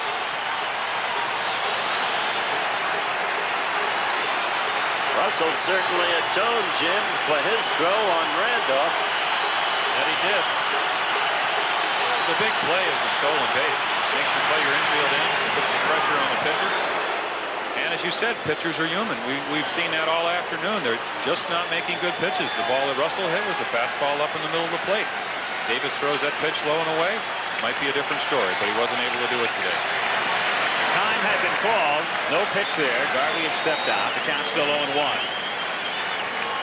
You go back to last night's ball game. Frazier pitched very well. You, you said they had a couple of the high choppers, but the, what set up that whole inning was the walk to say. He tried to throw him a 3-2 breaking ball, missed, walked him. Guerrero punched the ball over Rodriguez's head. A beauty, 0-2. The Lasorda's been steaming the whole inning, top and bottom. And he just hopes by talking to Doug Harvey that maybe he'll get a pitch once in a while. Might not be the next one, but sooner or later. Garvey gets under it, lifts it in the air to left field. Winfield is there. That's the second out. So they get Garvey for the first time today. And it brings up Cey. Cey 4 for 13 in the series. And the count is full. Howard just mentioned the Dodgers coming to life last night. Prior to last night's game, the Dodgers in 12 postseason games had a cumulative team batting average of only 204. The five runs, 11 hits last night, six runs, 10 hits already today. Russell will be going on the pitch, and the 3-2 delivery is it high in the air to left field. Winfield underneath this one, and that's that for the Dodgers in the sixth inning. But the Dodgers in the sixth come up with three runs. Two on the pinch homer by Johnstone. Russell driving in the tying run. Pick up a couple of hits, one error. And at the end of six full, Yankees six, Dodgers six.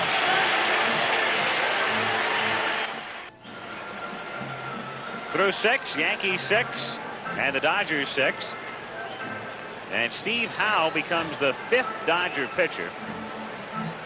Welch started, Goltz, Forster, Niedenfuer, now Howe, who pitched briefly in game two, came on in the eighth inning Wednesday night. Got Winfield to fly out, but then gave up a single to Piniella and a base hit to Nettles. He'll go to work here on Aurelio Rodriguez. Frazier, the pitcher, is due up next. Nobody yet out in the on-deck circle.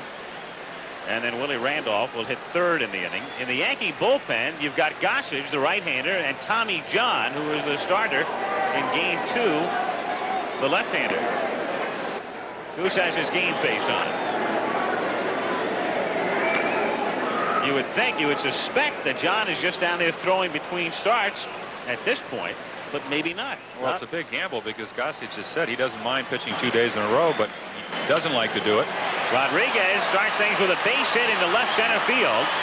Guerrero with a long run, and Rodriguez will try to stretch it to throw into Russell. They nail it.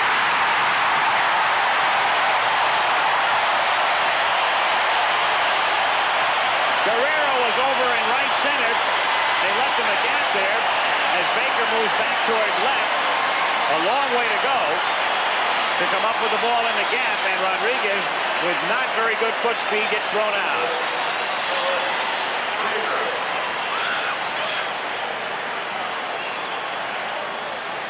Well, the first base coach is a man named Ferraro. He was involved with sending a runner home against Kansas City, kept his job, but moved from third to first. I don't know about now. Frazier hitting for himself and trying to bunt his way on. 0-1 the count. Rodri Rodriguez markedly slow of foot. Everybody knows it. See, he hesitates right at first. Did not come out of the box. Thinking double.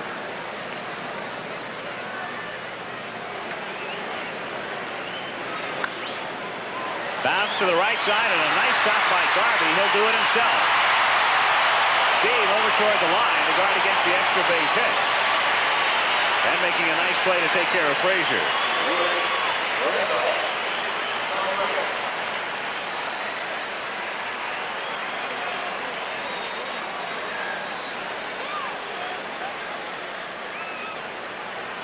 Nice play by Steve.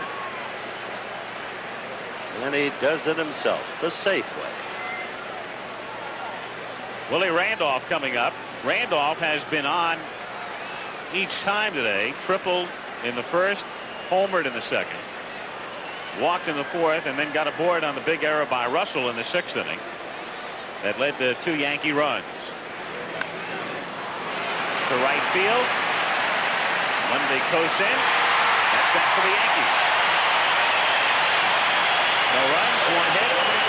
Nobody left through six and a half. It remains Yankees six, Dodgers six. Back in Los Angeles after this commercial. And a word from our local stations.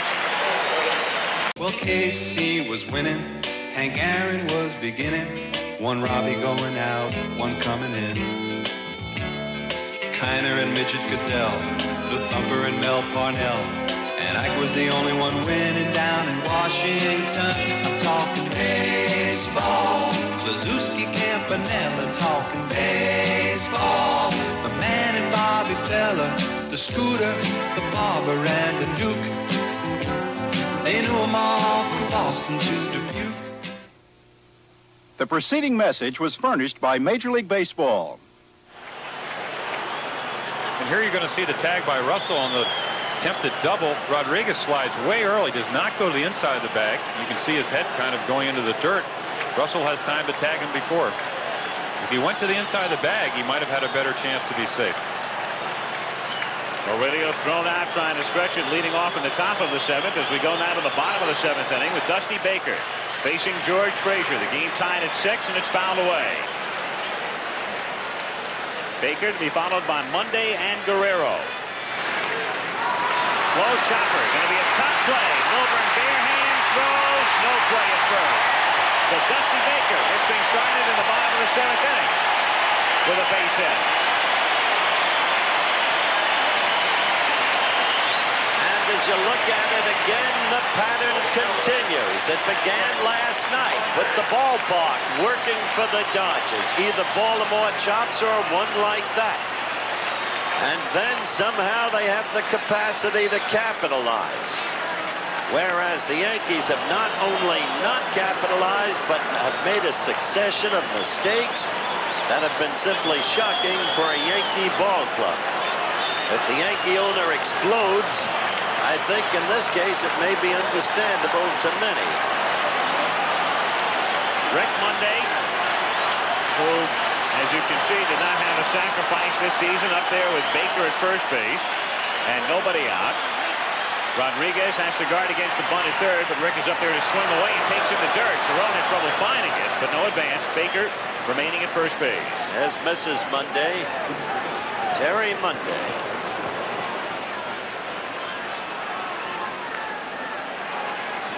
There is Rick. Really got great personal charm. There is Greg Nettles on the bench again today. I think you'll see him in there tomorrow. Well, he took batting practice and not hit the ball like he can. Didn't seem to be bothering him too much. In the air to center field. Brown circled around it. Can't make the play. Baker rounding second as Jackson comes up with the ball. Dusty will go to third and Monday in at second. Now you tell me, go back to what I said a couple of innings ago. Why isn't Jerry Mumphrey in center field? Everything's catching up to these Yankee mistakes today. Here he, not hit too too well to center. Brown takes a step back, can't recover, makes tries to make a nice effort, just doesn't get to the ball. Tries to make a shoestring catch. Reggie heads up play, backing him up. Baker had to hold between first and second to see if the ball would be caught. So Monday was running up his back. Meanwhile, Guerrero will be walked intentionally to load the bases with nobody out and bring up Scioscia. And Scioscia, good contact hitter, a man who struck out only 18 times all season and figures to put the ball in play coming up.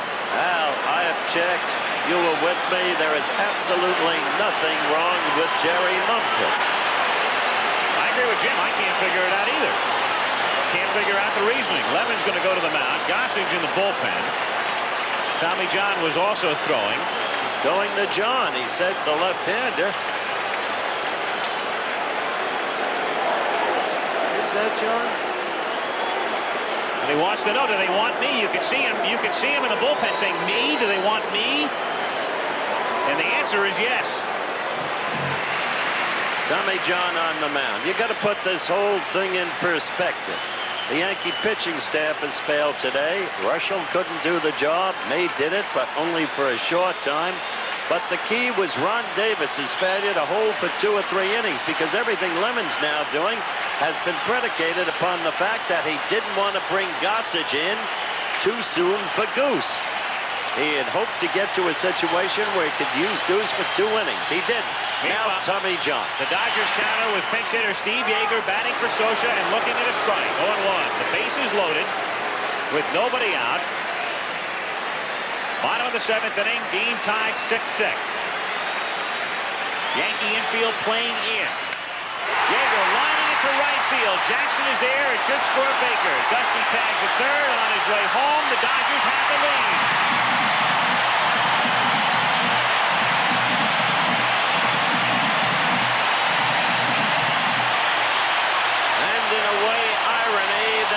Would be there to do the job. The man who told you yesterday that he wants out because he hasn't had the opportunity to play. So Yeager with a sacrifice fly. And that is very important to the Dodgers right now, in as much as they've gone through their bullpen, and that keeps Steve Howe in the game. Whereas Lasorda might have had a decision to make if Yeager had, let's say, bounced into a one-two-three double play or popped out. Now look how this unsettles the Yankees pitching staff in terms of the remainder of the series. Does this wipe John out of a Howe up there to bunt, lays it down to Rodriguez at third. He'll make the play at first. Randolph covers, runners advance to second and third with two down. Does this effort today wipe John out of another starting shot, Jim? I would doubt it. I think that Bob Lemon, when bringing him in, was hoping that they would stay with Scioscia. Maybe he'd get an out because he knew Howe was, Howe was coming up next, and the Dodgers may have to let him hit. But as it turns out now, I would think that you'd only see Tommy John pitch this inning. They have to go to Gossage. He hasn't pitched in a couple of days anyway. Probably could use the work. 1 0 the count. I think the biggest Yankee fear is that Gossage has said many times doesn't mind pitching back-to-back days, but not three innings. Anything over that really tires his arm. Blocked by Cerone. 2 0 the count. Tommy John making his first relief appearance since 1979. Came out in relief May the 1st of 79 at Anaheim.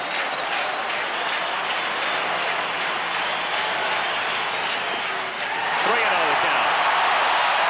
Base open and Bill Russell on deck.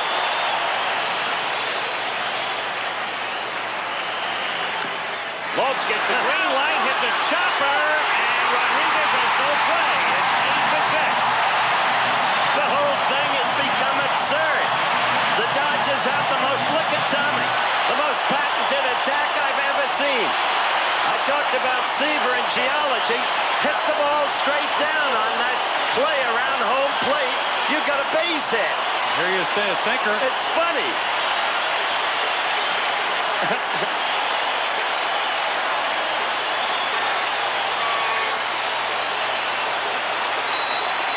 Watch where it hits. See? Bang. Well, we've seen the inning was started by Dusty Baker hitting a topper. Again on a good pitcher by Frazier. John made a good pitch. Russell takes outside, 1 0. It's a tough pitch to defense. But I think that the whole point here is that, especially today's game, that it illustrates that the Yankees bullpen is not invincible. That Lemon has to use Gossage sparingly because he can't trust the rest of his bullpen. And going into this series, they felt that Davis and Gossage would do the job they've done during the playoffs in the season. Gives them a lot of leeway to use them in many different ways. It's 3 0 on Russell. Mar Marianne Russell, Bill Russell's wife.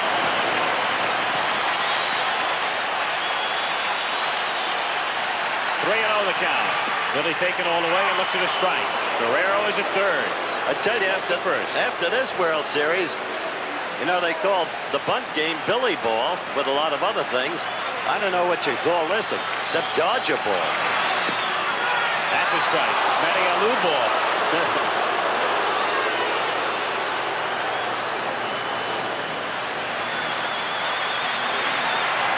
Lopes on the move, and the pitch is grounded to short. Milbourne has to play it at first, and in time there to retire the side. And in the seventh inning, the Los Angeles Dodgers come up with a couple of runs three hits and leave two. We'll go to the eighth with the Dodgers in front, eight to six. For the Dodgers now, as we move to the eighth inning, Derrel Thomas takes over in center field. He'll bat in Rick Monday's spot, the number six spot. Pedro Guerrero moves from center over to right and adjusts the glasses. Steve Yeager, who delivered the sacrifice fly to drive in the tie-breaking run, stays in the game back of the plate. And with the Dodgers in front, 8 to 6, Larry Milbourne to lead things off, to be followed by Winfield and Jackson. Steve Howe, his game to win. Starts with a strike, On 1.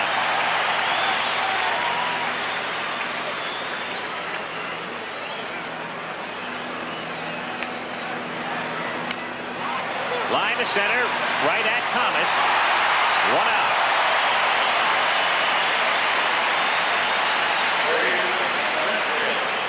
Derrel tested immediately, and Howe goes to work now on Dave Winfield. I'm thinking of poor George Frazier. He's got to be shell-shocked. Comes in last night, Jim.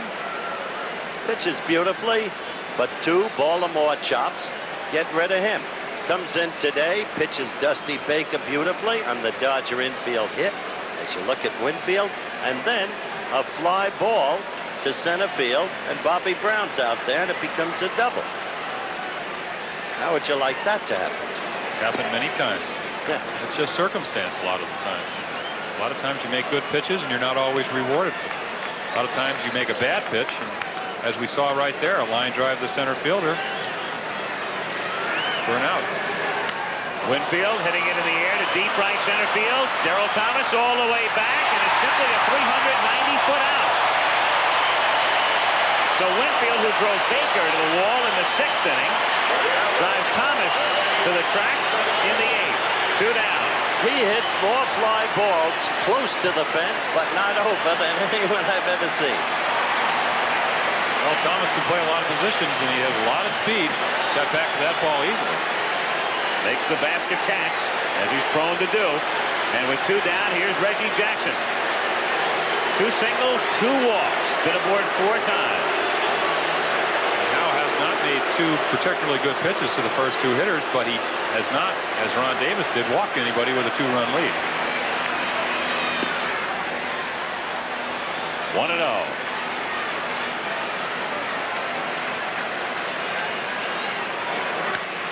To deep right center field. Forget it. And Reggie Jackson gets aboard for the fifth time as he'll move it all the way around. A home run for Jackson, who loves this ballpark.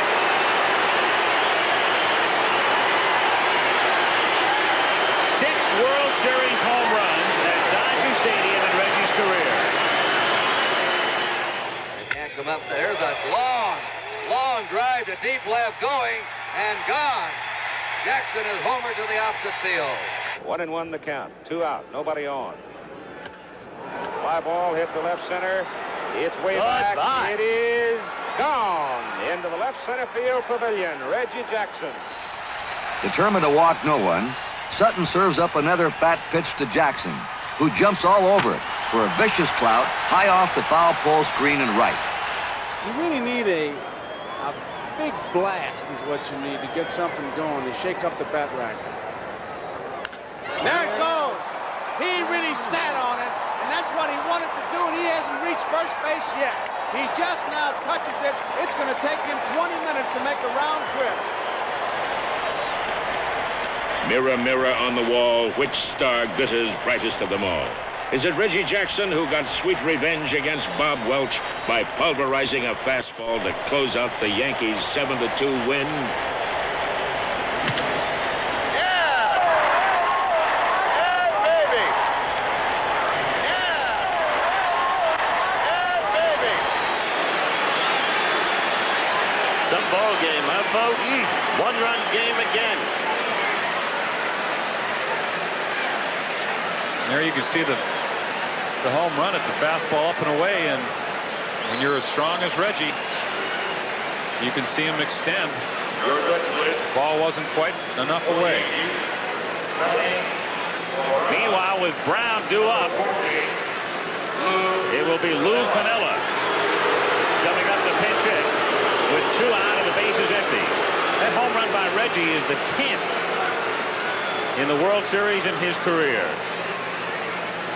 Course, the first time he had a chance to play in the series back in 72, he was hurt, was injured in the championship series against Detroit.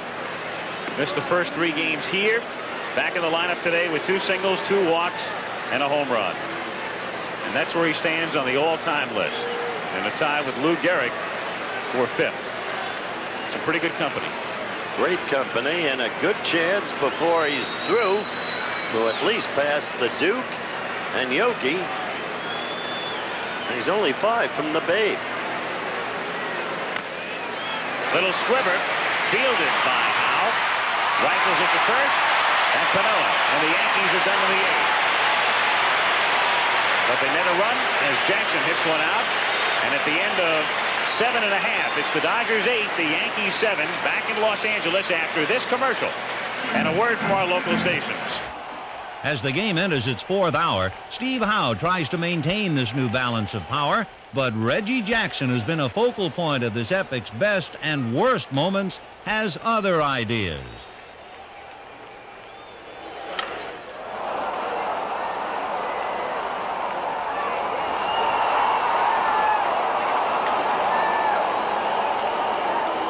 The October Marvel becomes only the sixth player to reach base five times in one series game. And now it's a one-run contest with an inning to go. USC tackles Notre Dame tonight at 11:30.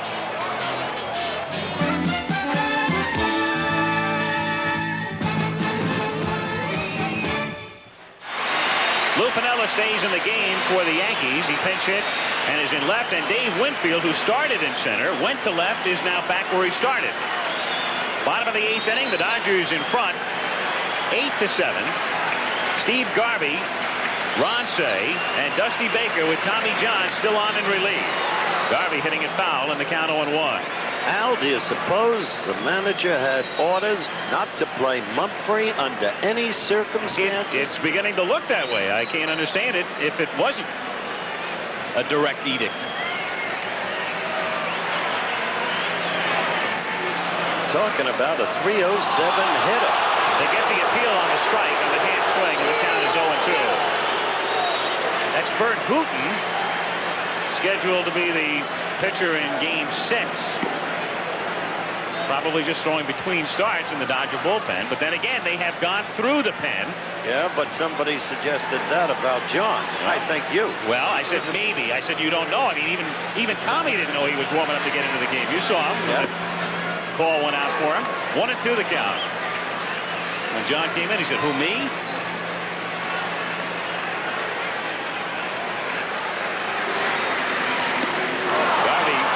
Tipping it into Cerone's glove. One away. Well, it seems so distant now, but remember, Monday Night Football this Monday night, Three Rivers Stadium. The Houston Oilers, Earl Campbell, Kenny Stabler, and the rest of the crowd against the Pittsburgh Steelers. Both still very much in their Central Divisional race in the AFC, but each fighting back from a strong loss last Sunday. Ron to know oh the count.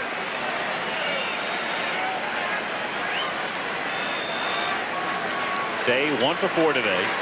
Drove in a run with a fifth inning single. Line drive, base hit into right field.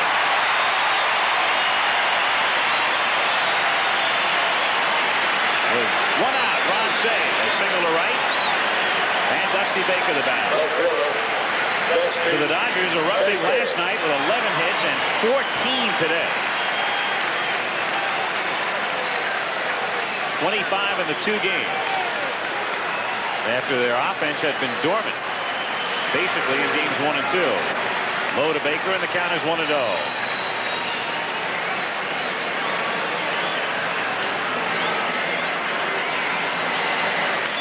Baker, green lighted. It's a fly ball to center field and an easy play for Dave Winfield. Two away. Carroll Thomas. Carroll. Thomas will come up, batting for the first time in the game.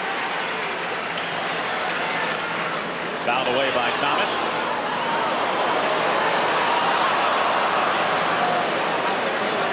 Ron Davis may be the unhappiest man. If there were one transcendental key to this game, it was his failure to hold the four. Lemon wanted to get two, three good innings. He didn't get it.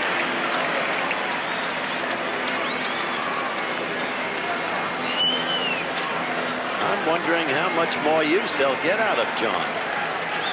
Didn't work just one inning, Jim, and he's wavering a little bit. One one pitch is outside to Thomas, two and one. Well, it seems to me what, what Lemon is saying is that if we don't win today, I want to have Gossage ready tomorrow to go three innings. Apparently, not that he's giving up today, because anytime you have Tommy John out there, he can pitch a good game, but just wonder what this is going to do to his start on Tuesday night if he does pitch. 2 1 to Thomas is fouled away. 2 and 2 on Derrel.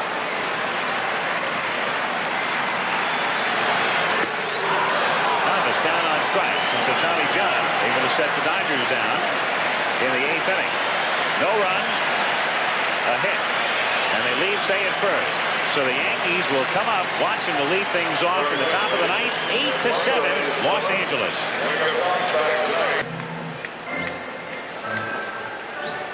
Al Michaels, Howard Cosell, and Jim Palmer at Dodger Stadium. It's been a wild one, a game that has taken uh, about three hours and 20 minutes at this point. Through eight, it's eight to seven, Los Angeles, and Steve Howe trying to get the Dodgers even in the series.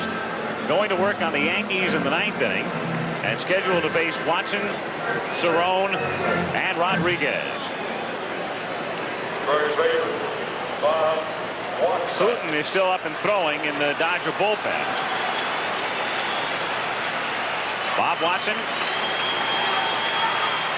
One for two, plus a walk and a sacrifice fly.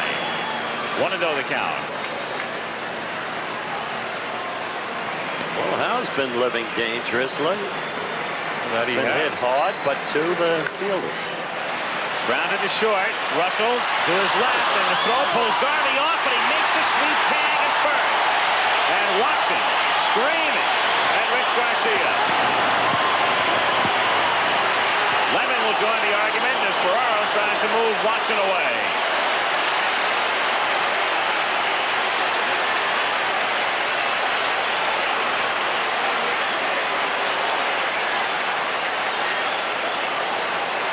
Garvey with a sweep tag going by. Hmm. Look at it from this angle.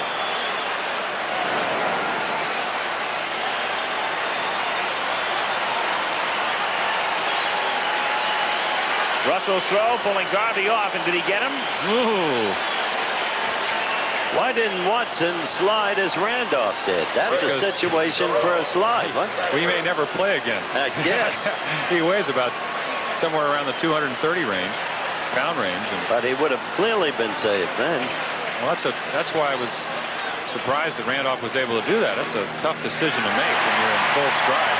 Rick Cerone looks at a strike. You're trying to run down first base as hard as you can, and the last moment go into a slide. You're exactly right. He would have been safe if he had done that, but it's a difficult thing to do. 0-1 to Cerone. Inside. One and one on Rick. I don't see George Steinbrenner in his booth.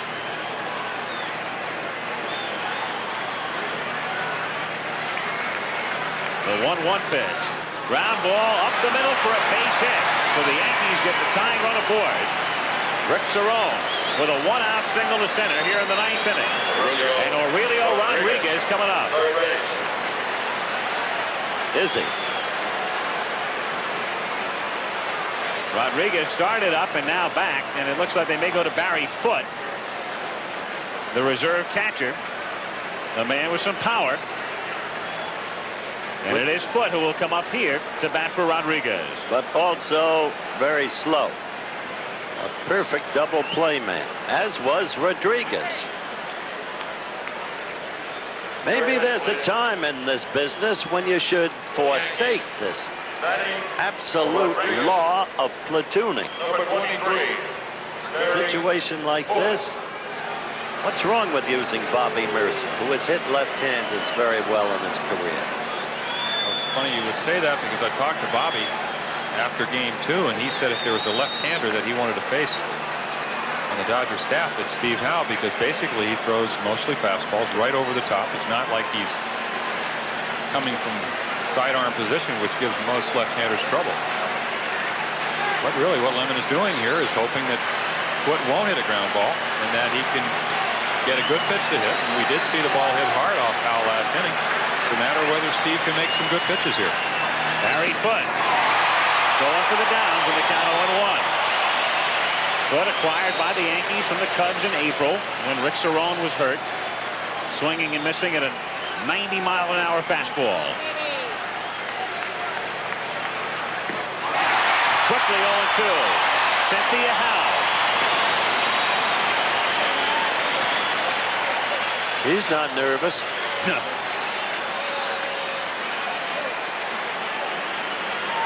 And I think I see Bobby Murcer with a bat in the Yankee dugout, so we may see him yet. Pitcher spot due up next. 0-2 to Foote. Got it and made it look easy.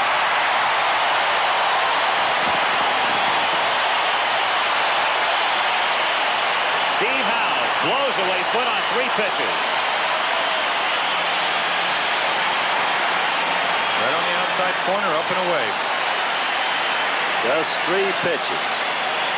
And here is the smallest professional through all the years. And maybe he won't hit a home run, but he's a great contact hitter. Lefty, righty, I don't care.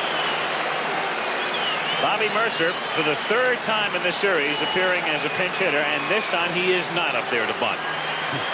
Andre Robertson, meanwhile, comes into pinch run for 55,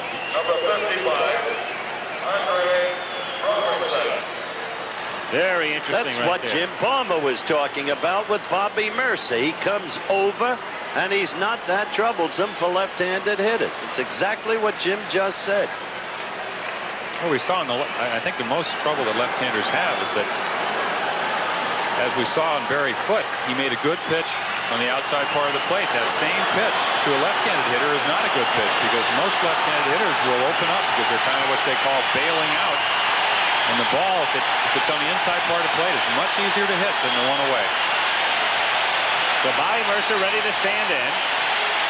With Nettles unavailable. Rodriguez, of course, out of the game. Lemon would have some decisions to make defensively if the Yankees tie it or go ahead, but he'll worry about that later. 1 0. And there you saw a fastball inside. For Howe to be successful, he's going to have to get the ball away from Bobby Murcer, preferably on the outside corner or somewhere in that area. A good part of the crowd standing with two out. The 1-0 pitch is inside again in the count 2-0 on Murcer. Willie Randolph on deck. Robertson pinch running for Cerone at first. Two out.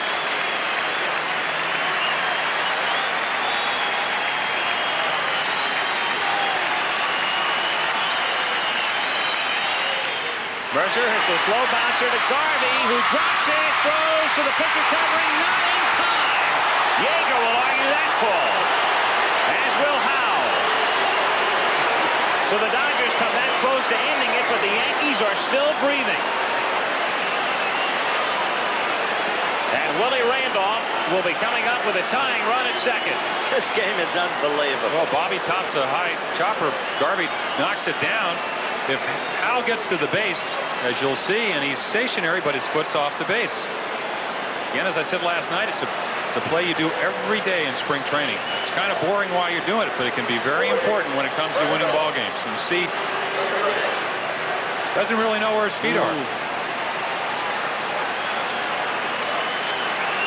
In that situation, you want to get to the base as quick as you can and be able to stretch out on balance. As it was, he wasn't able to do that. Ah, after that last one, it looked like a good call.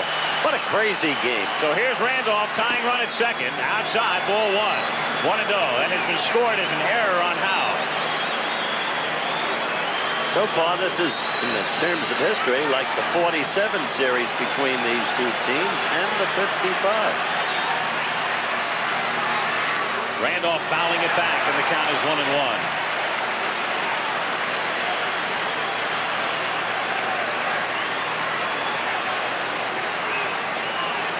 Talk about classic confrontations, you have a fastball pitcher on the mound. He's been throwing most of his fastballs up in the strike zone. And the pitch that Willie Randolph likes to hit is a high fastball. Robertson at second. Murcer at first. Randolph lifts a high fly ball to deep right center field, but Derrel Thomas moves back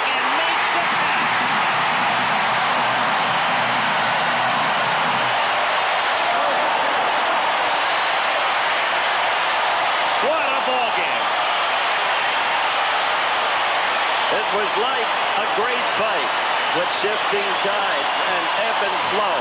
And one had the sense that somehow the Dodgers would come back, trailing initially four to nothing, then four to three, then six to three.